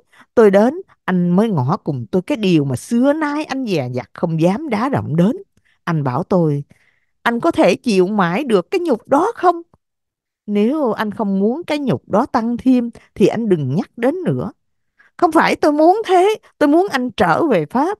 Tôi vẫn bảo ở đây chúng ta sẽ bị tai họa. Bây giờ tôi lại nói thế, và tôi cảm thấy cái tai họa đó sắp đến nơi rồi. Anh phải biết chỉ trong mai mốt, lính cảnh sát sẽ đến xem. Sao quý ông Điệp Công lại bán hàng hạ giá thế? Lúc đó sẽ xảy ra sao? Anh Mã Tư ơi, tôi xin anh. Vì anh không muốn trông xa, tôi phải trông thay anh. Có ngày người ta giam cả lũ, cả anh, cả tôi nữa. Mà chúng ta có tội tình gì? Lúc đó chúng ta làm thế nào mà tỏ được nỗi oan? Làm thế nào mà bào chữa được? Chúng ta chả ăn phần bánh đã mua bằng tiền bán các hàng đó là gì? Ý tưởng đó giáng mạnh xuống đầu tôi như một nhát búa vì từ trước đến giờ tôi không nghĩ tới. Tôi cố chống lại, không phải là chống với Mã Tư mà chống với ý tưởng đó. Tôi nói, phần bánh của chúng ta là do tay chúng ta kiếm lấy. Mã Tư trả lời, cái đó đúng lắm, mà cũng đúng lắm là chúng ta đã hợp tác với những người không làm để kiếm bánh mà ăn. Chính điều này làm người ta sẽ trông thấy và người ta chỉ trông thấy điều ấy thôi. Chúng ta sẽ bị bắt giam như những kẻ đó. Nếu chúng ta bị giam về tội ăn trộm thì anh sẽ bị đau đớn hơn tôi vì tôi chỉ là một thằng khốn nạn. Còn anh, khi anh tìm thấy gia đình anh, gia đình thực của anh thì buồn cho gia đình anh biết bao, nhục cho anh biết bao nếu anh bị tù tội. Vả lại, không phải là chúng ta vào nhà lao mà chúng ta có thể tìm thấy gia đình anh. Không phải chúng ta có thể vào nhà lao mà chúng ta có thể báo cho bà Mỹ Lưu biết Mỹ Giang đang âm mưu hại cậu An Tuyên. Bây giờ thì còn thì giờ, chúng ta nên xa lánh. Anh cứ việc đi. Sao mà anh lại ngu xuẩn thế? Chúng ta cùng đi cả hoặc chúng ta cùng bị bắt cả. Khi chúng ta bị bắt, chỉ nay mai thôi, anh sẽ chịu trách nhiệm về việc rủ tôi đi với anh, rồi anh sẽ xem trách nhiệm đó có nhẹ không. Nếu anh có ích cho những người mà anh không muốn bỏ thì cái bướng của anh cũng đẹp đấy. Nhưng đằng này anh không cần thiết cho người ta lắm. Không có anh người ta vẫn sống được kia mà. Anh nên nghĩ kỹ đi, đi ngay thì hơn. Vậy anh cho tôi nghỉ một ngày đã, chúng ta sẽ định liệu sao Mau lên đi, con quỷ đã ngửi thấy cái mùi thịt tươi rồi, nguy hiểm đã đến chân rồi. Chưa bao giờ những câu nói, những lý luận và những lời kêu nài của Mã Tư làm cho lòng tôi nao núng như lần này. Nghĩ lại những câu anh nói, tôi lại ừ, cho sự bất quyết của tôi là hèn và tôi phải nghĩ bề nào cho dứt khoát. Nhưng tình trạng đã làm tôi không dám hành động. Chúng tôi rời London đã được gần 2 tháng rồi. Chúng tôi đến một thành phố đang mở hội đua ngựa ở ngoại thành. Ở nước Anh, những cuộc đua ngựa không giống như ở Pháp. Đua ngựa chỉ là một cuộc giải trí cho những người giàu đến để trưng diện, để xem mấy con ngựa chạy thi hoặc bỏ ra mấy đồng tiền vàng đánh cá mua vui. Ở Anh, đua ngựa là một hội hè lớn cho cả một vùng. Không phải chỉ có những con ngựa dự vào cuộc vui trên những bãi hoang, trên những đụng cát dùng làm trường đua. Nhiều đám diễn trò rong, những tài tử lưu đảng, những hàng quán đã đến hội tụ trước mấy ngày ồn ào rộn rịp như một đám chợ phiên. Chúng tôi kiếp đến để giữ chỗ. Mã Tư và tôi là phường nhạc, gia đình Điệp Công là hàng buôn. Nhưng đáng lẽ đi ngay đến trường đua, cha tôi lại đổ ở trong tỉnh. Có lẽ đã nhìn thấy cơ hội gì tốt chăng? Đến nơi còn sớm quá, chúng tôi chưa phải giúp việc bày hàng, nên Mã Tư và tôi rủ nhau ra trường đua ở một bãi hoang gần đó. Những liều vải lô nhô như nấm mọc, từ xa chúng tôi trông thấy những đám khói bay lên, nhưng chỉ cho chúng tôi biết địa điểm và giới hạn của hí trường. Không mấy lúc chúng tôi đến một con đường trũng trong bãi, chúng tôi trông thấy nhan nhản những tiệm ăn, quán trọ, những liều, những rạp bằng gỗ. Những xe bài hàng hay những cái bàn lộ thiên chung quanh chen chúc những người áo quần rách rưới. Chúng tôi đi qua một bếp lửa, có nồi treo lên thì nhìn thấy anh Bốp. Gặp chúng tôi, anh mừng quá. Anh và hai người bạn nữa đến đây để làm xiếc. Nhưng mấy nhạc công hẹn mà không đến thành ra lỡ việc. Vì ngày mai phải có rồi, nếu chúng tôi có thể vào thay các người đó. Thực là giúp anh một việc rất lớn. Số tiền thu được sẽ chia làm 5 phần và cũng dành một cho con lãnh nhi. Mã Tư đưa mắt hỏi tôi, muốn làm anh vui lòng, tôi nhận lời ngay. Chúng tôi được tự do đi đánh đàn, miễn là hết ngày có món tiền tốt đem về. Chúng tôi thỏa thuận sáng hôm sau sẽ đến hợp tác với anh Bốp và các bạn anh. Nhưng khi về đến xe hàng, một sự khó khăn hiện ra. Khi tôi báo tin đó cho cha tôi biết, cha tôi bảo rằng, Ngày mai ta cần đến lãnh nhi, con không thể đem đi được. Nghe câu đó, tôi hoảng hốt, người ta lại định dùng lãnh nhi để làm việc bất lương chăng? Nhưng cha tôi đã phá tan mối nghi ngờ đó. Cha tôi nói, lãnh nhi thính tài lắm, nó nghe được những tiếng động rất xẻ, giữ việc canh xe rất tốt. Ở chốn đông người và lộn xộn này, người ta dễ ăn cắp của ta. Vậy mai các con cứ đi làm với bố nếu đêm về muộn, điều này rất có thể xảy ra. Các con cứ việc đến tìm ta ở quán cây sồi vì ta sẽ ở trọ ở đó. Tối nay ta sẽ cho xe về đó. Quán trọ cây sồi ở về vùng quê cách đấy độ hai ba cây số, một nơi vắng vẻ và buồn.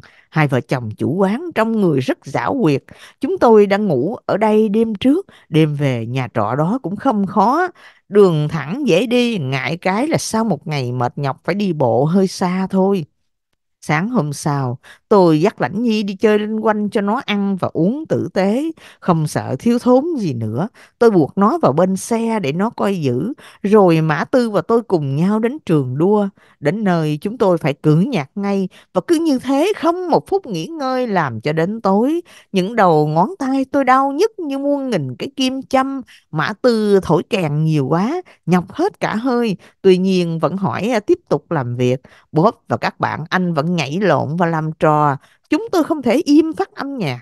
Tối đến chúng tôi tưởng tượng được nghỉ, nhưng anh em lại bỏ liều sang quán rượu bên cạnh, diễn trò hăng hái hơn trước.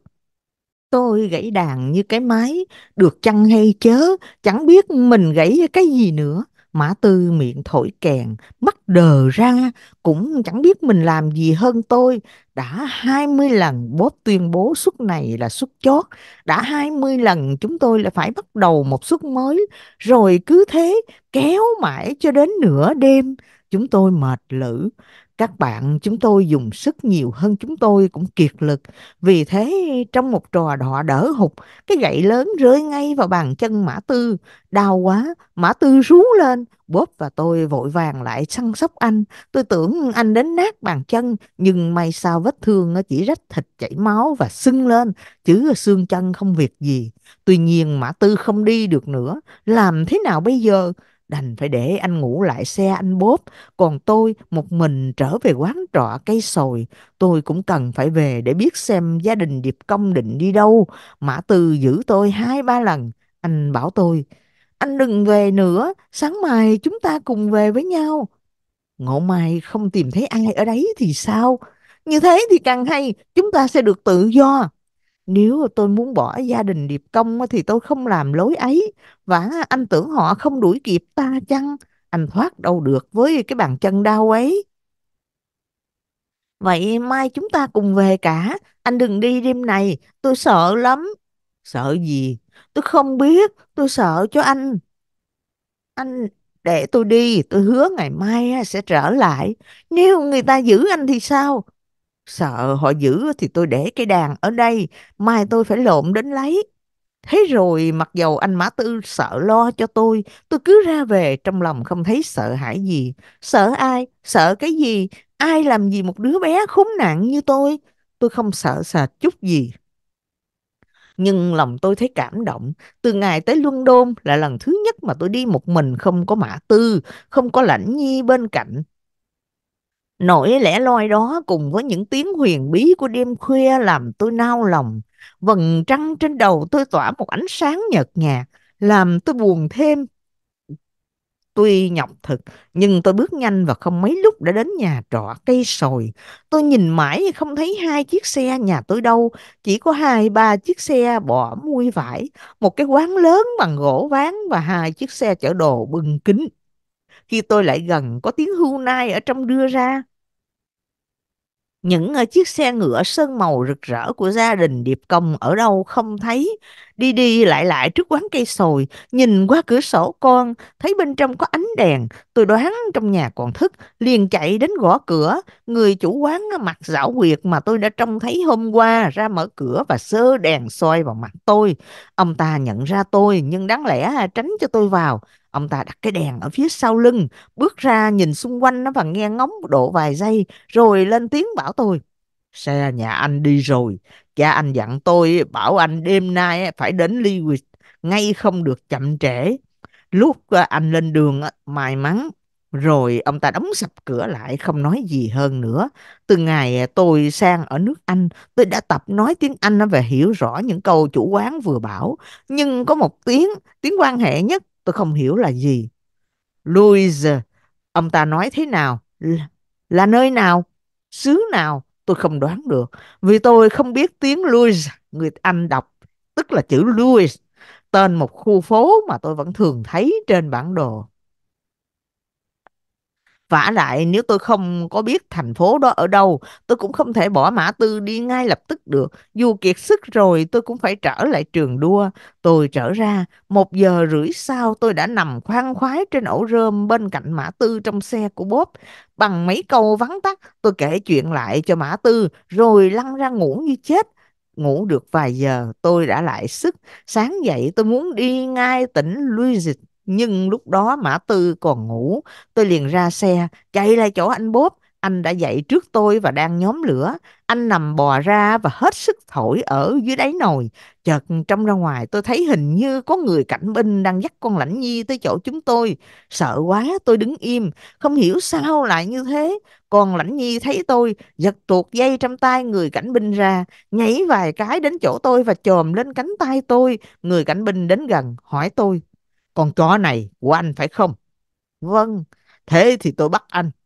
Nói xong người cảnh binh nắm chặt tay tôi lôi đi. Thấy vậy bóp liền chạy lại hỏi. Sao ông lại bắt đứa trẻ này? Nó là em anh. Không, là bạn tôi. Đêm qua, một người đàn ông và một đứa bé dùng thang trèo qua cửa sổ vào nhà thờ Thánh Rất để ăn trộm. Chúng có đem theo con chó này để báo động khi có người biết. Nó báo động thật. Kẻ trộm hốt quảng leo ra trốn mất. Nhưng không kịp mang chó đi. Bắt được con chó này tất nhiên là tìm ra thủ phạm. Quả nhiên ta tóm được một tên. Thế bây giờ người cha ở đâu? Tôi không biết người cảnh binh hỏi bóp hay hỏi tôi. Tôi không trả lời, đứng trơ ra. Tôi hiểu cả những việc đã xảy ra. Con Lãnh Nhi có tai thính không phải dùng để coi xe mà để canh cho người ta vào nhà thờ ăn trộm. Xe hàng rút lui vào chập tối không phải có việc về ngủ quán trọ cây sồi. Xe đó không tới quán trọ được cũng là vì vụ gian bại lộ phải trốn cho nhanh. Tôi không cần nghĩ đến những kẻ đã chạy thoát rồi. Tôi nghĩ đến tôi, dù sao tôi cũng phải chống cãi. Tôi không tố giác ai cả, nhưng tôi minh oan. Tôi sẽ khai đúng cái thời gian của tôi dùng trong đêm qua. Khi tôi đang lý luận trong óc như vậy, Mã Tư thấy tiếng lao sao liền ra xe, bước khập khiễng lại cạnh tôi. Tôi nhờ bóp nói hộ.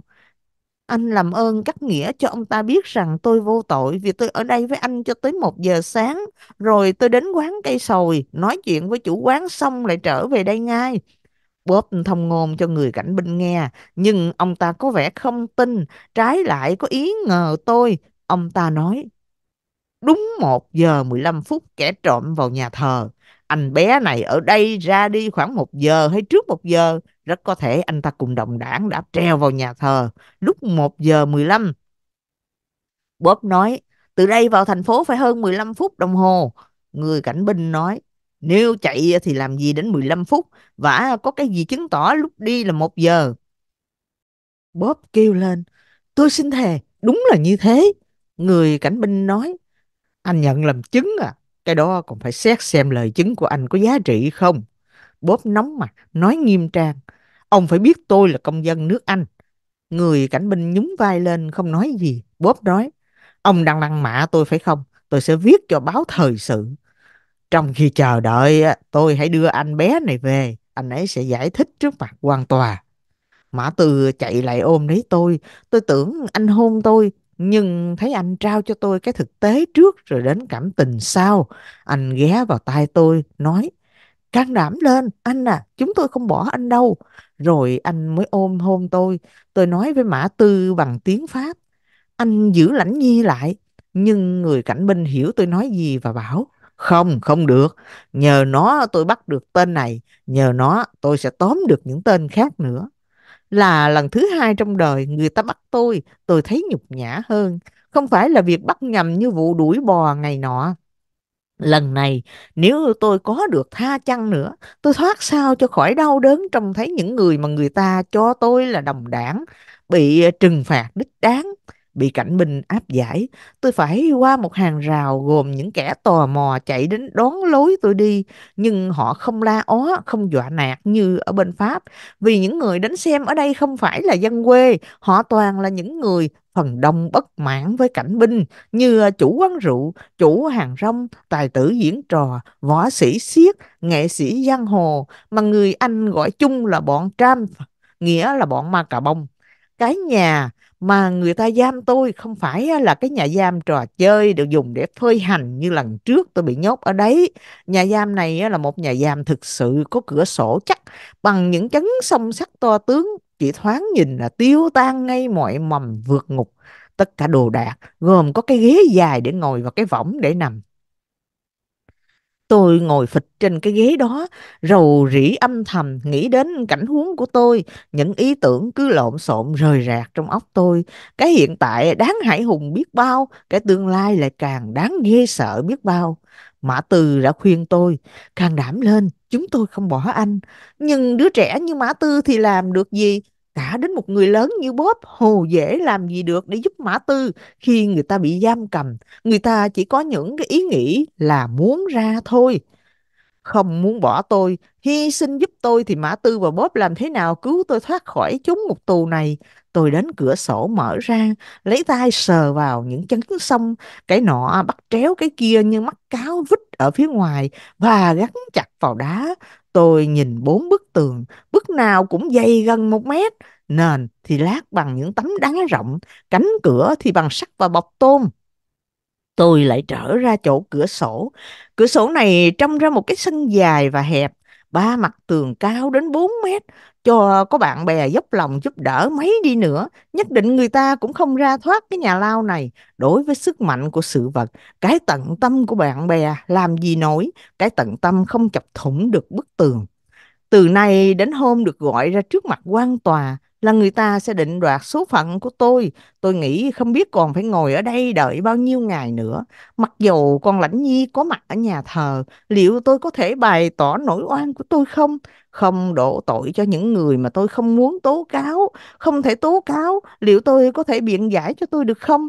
Tôi chỉ nghĩ đến chỗ này, mà chính ở chỗ này Mã Tư và Bóp có thể giúp đỡ tôi được các bạn tôi sẽ cung khai sự thực để chứng minh rằng hồi một giờ rưỡi tôi không thể nào ở nơi nhà thờ thánh rất được. Nếu họ khai đúng thế, tôi sẽ thoát nạn mặc dù cái bằng chứng câm của lãnh nhi có thể buộc tội tôi.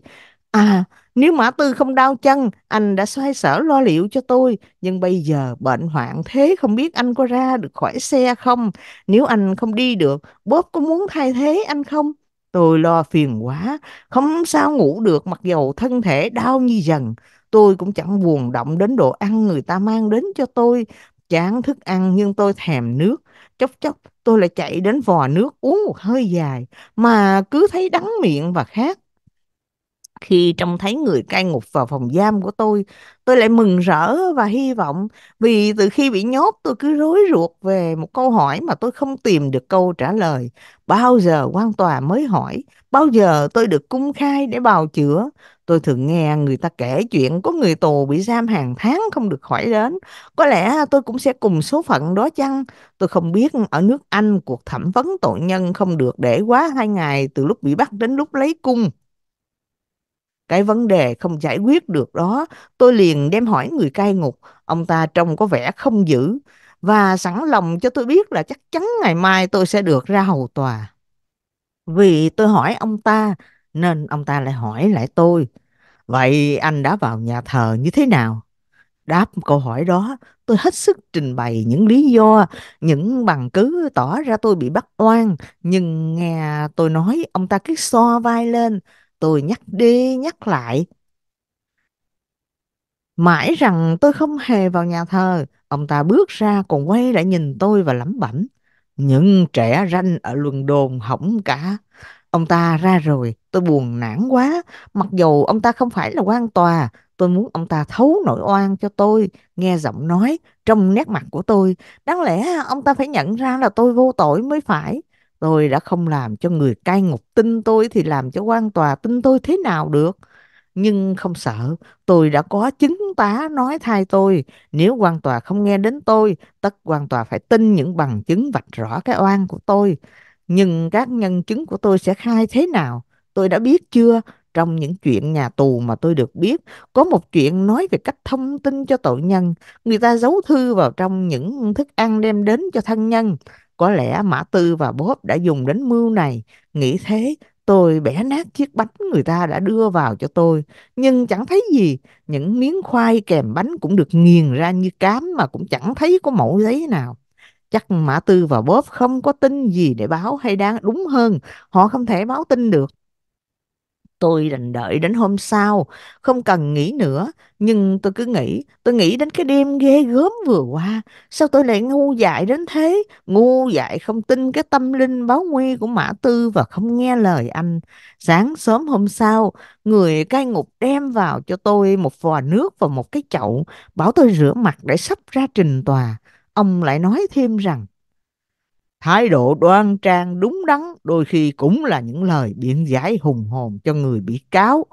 Rửa mặt và rửa sửa sang quần áo xong, tôi ngồi xuống ghế, nhưng không sao ngồi yên được. Tôi đứng lên đi đi lại lại trong buồng giam như con chim quay lộn trong lòng. Tôi muốn dự bị một cách bào chữa và những câu trả lời, nhưng lòng tôi sôi lên như người phát điên. Đáng lẽ nghĩ đến những việc bây giờ, tôi lại nghĩ đến những việc đâu đâu, lờ mờ qua trong óc tôi như một bóng đèn ma. Người cai ngục trở lại và bảo tôi đi theo ra. Tôi đi bên cạnh ông ta. Sau khi qua nhiều hành lang hẹp và tối, chúng tôi đến trước một cái cửa nhỏ. Cánh cửa mở ra, người cai ngục bảo tôi, vào đi. Một hơi nóng đưa vào mặt tôi. Tôi nghe thấy những tiếng rì rầm bên trong. Tôi bước vào và tôi thấy tôi đang đứng ở trong một cái ngăn bằng gỗ. Tôi đã ra công đường. Mặc dù lúc đó tôi ngây ngất như mê và những mạch máu dồn dập ở trên đầu tôi như muốn đứt ra. Tôi đưa mắt nhìn xung quanh và nhận rõ phòng hội đồng và đám công chúng ngồi chặt ở bên dưới. Phòng đó cao rộng, có những cửa sổ lớn, chia làm hai phần, một phần dành cho tôi, một phần để cho công chúng. Ông chánh án ngồi lên trên một cái bục cao nhất, phía trước mặt ông chánh án và ở một cái bục thấp hơn có ba ông nữa ngồi. Mãi sau này tôi mới biết đó là ông lục sự. Ông thủ quỹ thu các khoản tiền phạt và một ông quan tòa mà người Pháp thường gọi là biện lý. Trước mặt tôi có một ông mặc áo trùng đen đội tóc xả ngồi ở bàn, đó là luật sư của tôi. Sao tự nhiên tôi có một luật sư, ông ta ở đâu đến, ai đã mời đến cho tôi, Mã Tư hay là Bốp? Không phải là lúc tìm tòi để biết điều đó, tôi có luật sư bên vực, thế là đủ. Trong một khu ghế, tôi nhìn thấy Bob và hai bạn anh, người chủ quán cây sồi và nhiều người khác tôi không quen. Ở một khu khác, tôi trông thấy người cảnh binh đã bắt tôi và mấy người nữa đi với người cảnh binh ấy. Đó là những chỗ riêng cho các nhân chứng. Những hàng ghế dành cho công chúng đều chật ních. Đứng ở bao lơn, tôi nhìn thấy Mã Tư, mắt chúng tôi giao nhau, hôn nhau. Lập tức tôi thấy phấn khởi hẳn lên. tôi sẽ được bên vực. Tôi cảm thấy không bị nặng nề, bị đè bẹp nữa, bởi vì những con mắt tò mò chĩa cả vào tôi. Ông biện lý lên tiếng đầu tiên, ông có vẻ vội vàng, trình bày tóm tắt như sau. Một vụ trộm đã xảy ra tại nhà thờ Thánh Rất. Quân Giang là một người đàn ông và một đứa bé đã dùng thang bẻ cửa sổ leo vào. Chúng mang cả một con chó vào để canh cho chúng vơ vét.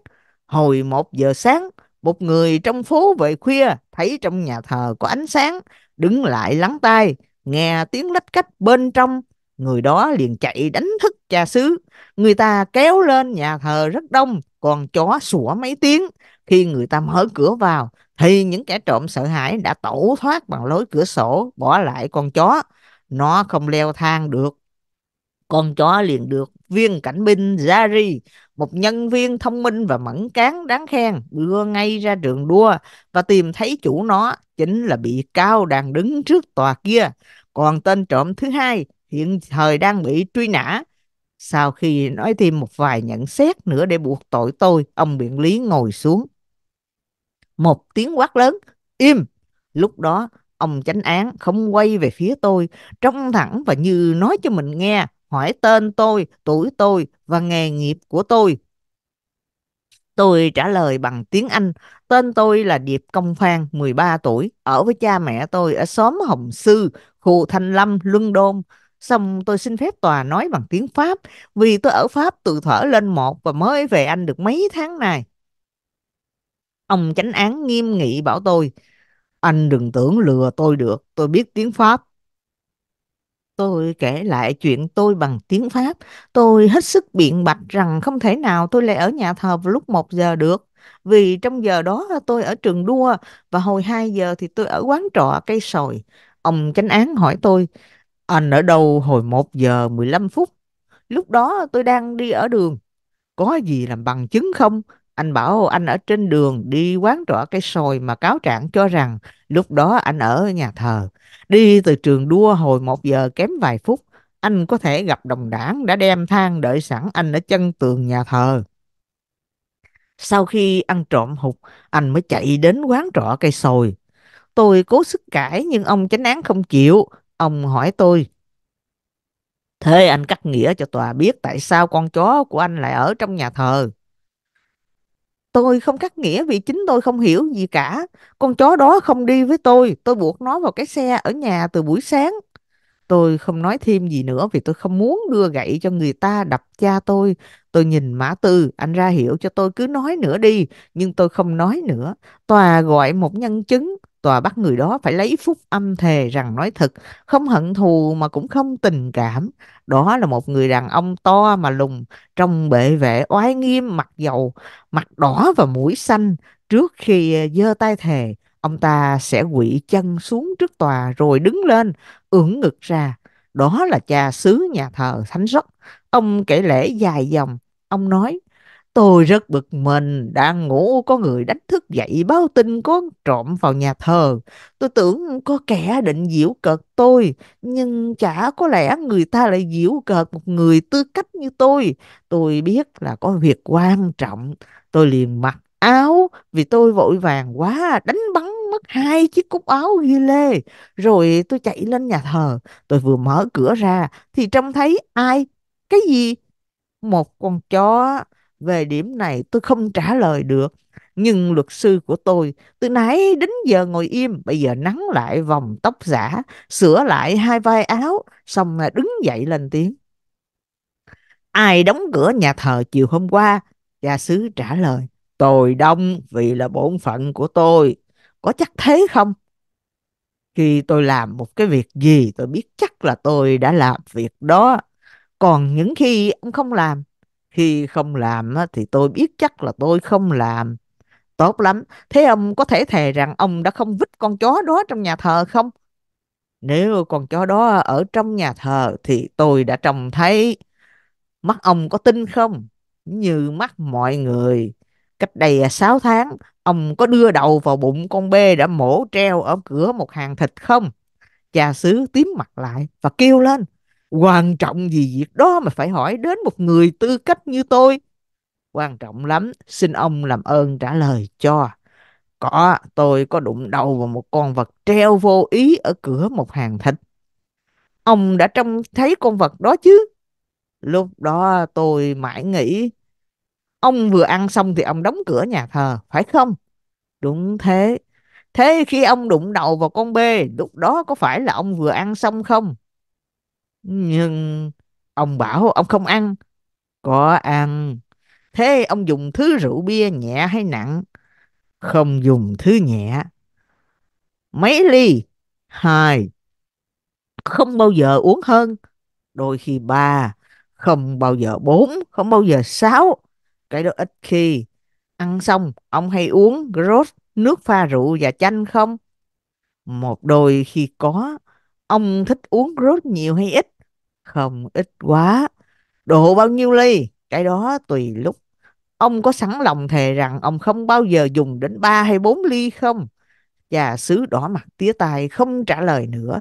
Trước cô Huy ngồi xuống, luật sư kết luận rằng cuộc đối thoại này có thể chứng minh rằng con chó vít trong giáo đường bởi một nhân chứng. Nhân chứng đó sau bữa ăn đã không nhìn thấy những con bê vì y mãi nghĩ đó là tất cả những thắc mắc mà tôi muốn nêu ra và muốn biết rõ. Nếu tôi dám, tôi đã nhảy đến ôm lấy luật sư hôn. Tại sao con Lãnh Nhi lại không thể bị vứt trước ở trong nhà thờ được? Có lý lắm chứ. Nếu nó bị nhốt đúng như lời luật sư thì không phải là tôi đã đưa nó vào. Tôi sẽ vô tội vì chỉ có ờ, con chó là tang vật buộc tội tôi thôi. Sao cha xứ đến lượt các người đã theo cha lên nhà thờ đêm đó, họ đều khai không thấy ai cả, chỉ thấy cửa sổ mà kẻ trộm đã mở toang để tháo thân. Rồi toàn nghe nhân chứng của tôi, Bob và các bạn của anh cũng như người chủ quán cây sồi đều khai những thì giờ hiện diện của tôi. Tuy nhiên có một điểm không được rõ rệt, đó là giờ tôi bắt đầu từ trường đua đi. Điểm quan trọng này không được chứng minh đích xác. Cuộc thẩm vấn xong, ông chánh án hỏi tôi, có muốn nói thêm gì nữa không? Tôi đáp, tôi vô tội và xin tòa minh xét cho. Ông chánh án đọc lại biên bản đã ghi tất cả những lời cung khai mà tôi vừa nghe. Xong ông ờ, tuyên bố bị cáo sẽ phải gửi sang nhà lao khu đợi hội đồng hội thẩm xét xem có phải đưa vụ này lên tòa đại hình hay không. Lên tòa đại hình, tôi ngã gục xuống ghế. Thằng ôi, sao tôi chẳng nghe lời Mã Tư. Chương 39 Bốp tôi lại được đưa về nhà giam cũ. Tôi nghĩ mãi và cho rằng sở dĩ tôi chưa được tha là vì người ta còn đợi bắt được những người đã vào nhà thờ xem có phải tôi là đồng đảng hay không. Người ta đang lụng bắt phạm nhân. Ông miệng lý đã bảo thế. Mai đây à, tôi sẽ đau đớn và nhục nhã phải ngồi trên ghế tòa đại hình với những phạm nhân đó. Bao giờ đến ngày đó, bao giờ tôi sẽ bị chuyển đi nhà lao khu. Nhà lao ấy là nhà lao gì, ở đâu, có khổ hơn ở đây không? Những chuyện đó cứ lẩn quẩn trong đầu tôi khiến thì giờ đi nhanh chóng hơn hôm trước. Tôi không nóng ruột nữa. Tôi biết rằng phải đợi. Tôi đứng lên, ngồi xuống. Tôi đi đi lại lại. Tôi cố đợi. Tối hôm ấy khoảng 10 giờ, tôi nghe thấy tiếng kèn, giọng thổi đó là của Mã Tư, người bạn tốt đó muốn tỏ cho tôi biết là anh nhớ tôi và săn sóc đến tôi. Tiếng kèn đó ở ngoài đường, trước cửa sổ tôi. Mã Tư đang ở ngoài tường, trên hè phố cách phòng giam của tôi độ vài mét. Hại thay, mắt tôi không nhìn được thấu qua tường, nhưng nếu mắt không xuyên được đá thì âm thanh đã qua được tường. Ngoài tiếng kèn ra, tôi còn nghe thấy tiếng người đi lại và tiếng cười nói lao sao. Biết rằng Mã Tư và Bốp có lẽ đang diễn trò ở đó. Tại sao họ lại chọn chỗ này để diễn? Có phải chỗ này tốt và dễ thu tiền không? Hay là họ định dùng chỗ này để báo tin tức gì cho tôi? Tôi chợt nghe thấy tiếng nói rõ ràng, tiếng anh Mã Tư, kêu to lên bằng tiếng Pháp. Sáng sớm mai nhé. Rồi tiếp theo luôn tiếng kèn, in ỏi hơn trước. Không cần phải suy nghĩ. Tôi cũng hiểu ngay cái câu tiếng Pháp đó, không phải Mã Tư nói với những người khán giả Anh để nó, mà để nói cho tôi nghe. Nhưng tôi không hiểu câu đó có ý nghĩa gì. Tôi tự đặt hàng chục câu hỏi mà không sao tìm được câu trả lời đích sáng. Duy có một điều rất rõ rệt mà tôi biết đích xác là sáng mai tôi phải dậy thật sớm và chú ý. Từ bây giờ cho đến lúc đó tôi phải kiên tâm đợi. Tôi nằm võng cố ngủ, tôi không nghe tiếng chuông đồng hồ đánh hết giờ này đến giờ khác. Rồi bất giác ở đôi cánh cửa giấc ngủ nhẹ nhàng đưa bổng tôi đi. Khi tôi chợt tỉnh, đêm vẫn dài, những ngôi sao lấp lánh trên nền trời đen, không một tiếng động. Có lẽ còn lâu mới sáng, tôi sẽ ngồi xuống ghế, không dám đi lại sợ động, lính đi tuần sẽ chú ý. Tôi ngồi đợi, chờ cơ đồng hồ đánh 4 giờ. Còn sớm quá, Tuy nhiên tôi không dám ngủ lại. Dạ tôi có muốn ngủ lại cũng không sao chập mắt được vì lúc đó lòng tôi thấy lo lắng nôn nao. Công việc duy nhất của tôi lúc đó là nằm đếm tiếng chuông đồng hồ. Nhưng lâu làm sao cái khoảng thời gian 15 phút đi từ giờ đến khắc, từ khắc đến nửa giờ. Lắm khi lâu quá tưởng chừng như tôi lãng quên không đếm hay mấy đồng hồ bị sai. Tựa vào tường, tôi nhìn qua cửa sổ, sao đã mờ, trời hơi trắng ra, bình minh sắp tới, tiếng gà gáy xa xa. Tôi đứng dậy, đi bằng đầu ngón chân ra mở cửa sổ. Đó là một công việc thận trọng, tôi làm rất thông thả và nhẹ nhàng, không để kêu cọt kẹt. Mở được cửa sổ, nhưng tôi nghĩ cũng chẳng ích gì vì những chấn sông vẫn xích, những bức tường vẫn dày. Có là điên mới nghĩ việc thoát thân, Thế mà tôi vẫn hy vọng trên trời sao nhạt dần, khí lạnh ban mai làm tôi sẵn người. Tuy nhiên tôi vẫn không rời cửa sổ. Tôi cứ đứng đó nghe, nhìn và không biết mình định nghe nhìn cái gì. Một bức màn trắng đã tỏa trên bầu trời và ở dưới đất mọi vật bắt đầu nổi rõ hình ảnh. Đó là buổi sớm mai mà Mã Tư đã hẹn. Tôi nín hơi, nghe ngóng Tôi chỉ nghe thấy những tiếng đập của trái tim tôi thôi. Sau cùng, tôi nghe hình như có tiếng cạo cạo vào tường. Nhưng tôi không thấy tiếng chân bước. Tôi nghe nhầm chăng, nhưng tôi vẫn lắng tai. Tiếng cạo vẫn tiếp tục. Rồi thình lình, tôi trông thấy một cái đầu đen đen nhô lên trên nóc tường. Mặc dầu lúc đó trời hãy còn tối, tôi biết ngay không phải đầu Mã Tư, đó là đầu anh Bốp. Trông thấy tôi đứng sát vào chân sông, anh kêu rất khẽ. Đồng thời, anh lấy tay vẫy tôi đứng xa cửa sổ. Tôi không hiểu gì và nghe anh tôi đứng dịch ra. Lúc đó, tay kia anh cầm vật gì lóng lánh và dài trông như cái ống bằng thủy tinh. Anh ngậm ống đó vào mồm. Tôi biết ngay đó là cái ống xì. Tôi nghe phục một cái, đồng thời có một viên đạn trắng xuyên qua không khí rơi vào chỗ chân tôi. Thoáng một cái, đầu anh bóp biến mất sau bức tường và tôi không nghe thấy gì nữa. Tôi vội nhặt viên đạn, nó bằng giấy bao chung quanh một hòn chì. Hình như có những hàng chữ nhỏ vạch trên mảnh giấy đó. Nhưng lúc đó trời chưa rạng để đọc. Tôi đành đợi đến sáng rõ. Tôi cẩn thận đóng cửa sổ lại đến võng nằm và giữ chặt viên đạn giấy trong tay. Đợi mãi, vừng đông từ từ rạng và rọi ánh hồng trên tường. Tôi dở giấy ra và đọc. Chiều mai, người ta sẽ chuyển anh đến nhà lao khu. Anh sẽ đi xe hỏa hạng nhì với một cảnh binh. Anh ngồi gần cửa anh lên. Sau khi chạy được 45 phút, phải đếm kỹ đến chỗ ráp mối của hai đường sắt. Xe đi từ từ, anh ra cửa và nhảy phát xuống, duỗi thẳng hai tay, lao mình ra và có ý cho chân xuống trước. Tới đất rồi, leo qua bờ bên trái, xe chúng tôi đợi ở đó, đừng sợ gì cả Hai hôm sau chúng ta sẽ ở Pháp rồi, càng đảm và hy vọng đi, nhớ nhảy lao mình và xuống bằng chân.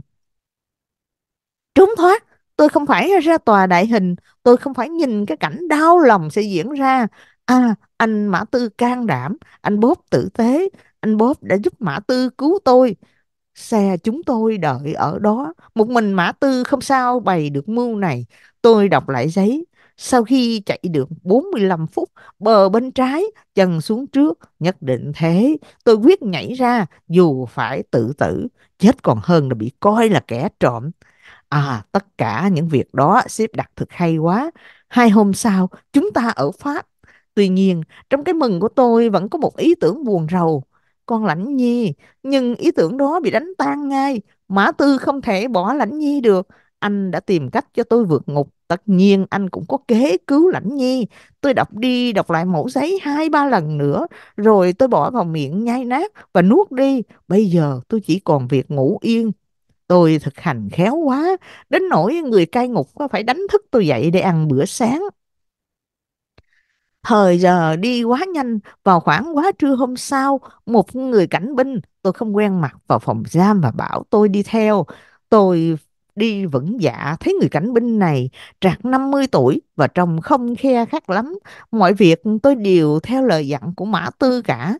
Khi xe bắt đầu chạy, tôi ngồi lùi dần về cạnh cửa tôi vừa lên. Người cảnh binh ngồi trước mặt tôi, trong toa này chỉ có hai chúng tôi thôi. Người cảnh binh hỏi tôi Em nói tiếng Anh được chứ? Ít thôi. Em hiểu khi người ta nói chứ. Hơi hiểu khi người ta nói chậm. Em ơi, ta muốn cho em một lời khuyên, đừng quỷ quyệt với tòa án, cứ nói thật đi, có thành thật thì mới thu phục được lòng yêu của mọi người, không có gì khó chịu bằng việc với những kẻ có lỗi hiển nhiên mà còn cãi, còn những kẻ thú lỗi bao giờ cũng được người ta thương đến mà khoan dung cho. Vì thế em nói thật cho ta biết vụ đó xảy ra như thế nào, ta sẽ thưởng cho em mấy đồng. Em phải biết tiền bạc làm êm dịu phần nào cái cảnh khổ ở nhà lao. Tôi định trả lời rằng tôi không có tội gì phải thú cả, nhưng muốn thu phục lòng yêu của người cảnh binh, theo tự ngữ của ông ta, tôi nín lặng không nói gì. Ông ta nói tiếp, em cứ nghĩ kỹ đi, khi nào ở nhà lao em nhận thấy lời khuyên của ta tốt, em sẽ nhờ người tuổi ta, vì không nên thú tội với bất cứ ai mà phải chọn mặt người nào thương mình, như ta chẳng hạn.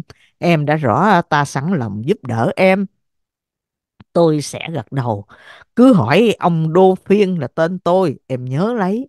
Thưa ông, vâng, Tôi đứng ở cạnh cửa lên xuống, tôi xin phép ông ta nhìn qua cửa kính ra ngoài để xem phong cảnh những làng mạc xe đi qua. Vì ông muốn thu phục lòng yêu của tôi, ông trả lời cho tôi tha hồ xem. Ông chả sợ gì, con tàu đang chạy hết tốc độ. Một lúc lâu, gió đánh vào mặt lạnh quá, ông bỏ chỗ cửa sổ, vào ngồi ghế giữa trong toa. Còn tôi không biết lạnh là gì, tôi sẽ đưa tay trái vặn sẵn quả đấm, tay phải giữ thành cửa. Lát sau, xe hỏa kéo còi và đi chậm lại. Đã đến lúc tôi tung cửa, nhảy mạnh xuống hết sức xa. Tôi lăn xuống hố. Kính thưa quý vị, quý vị vừa nghe hết phần thứ 8 truyện Vô Gia Đình. Xin mời quý vị đón nghe phần chót. Cảm ơn quý vị đã quan tâm theo dõi. Tạm biệt.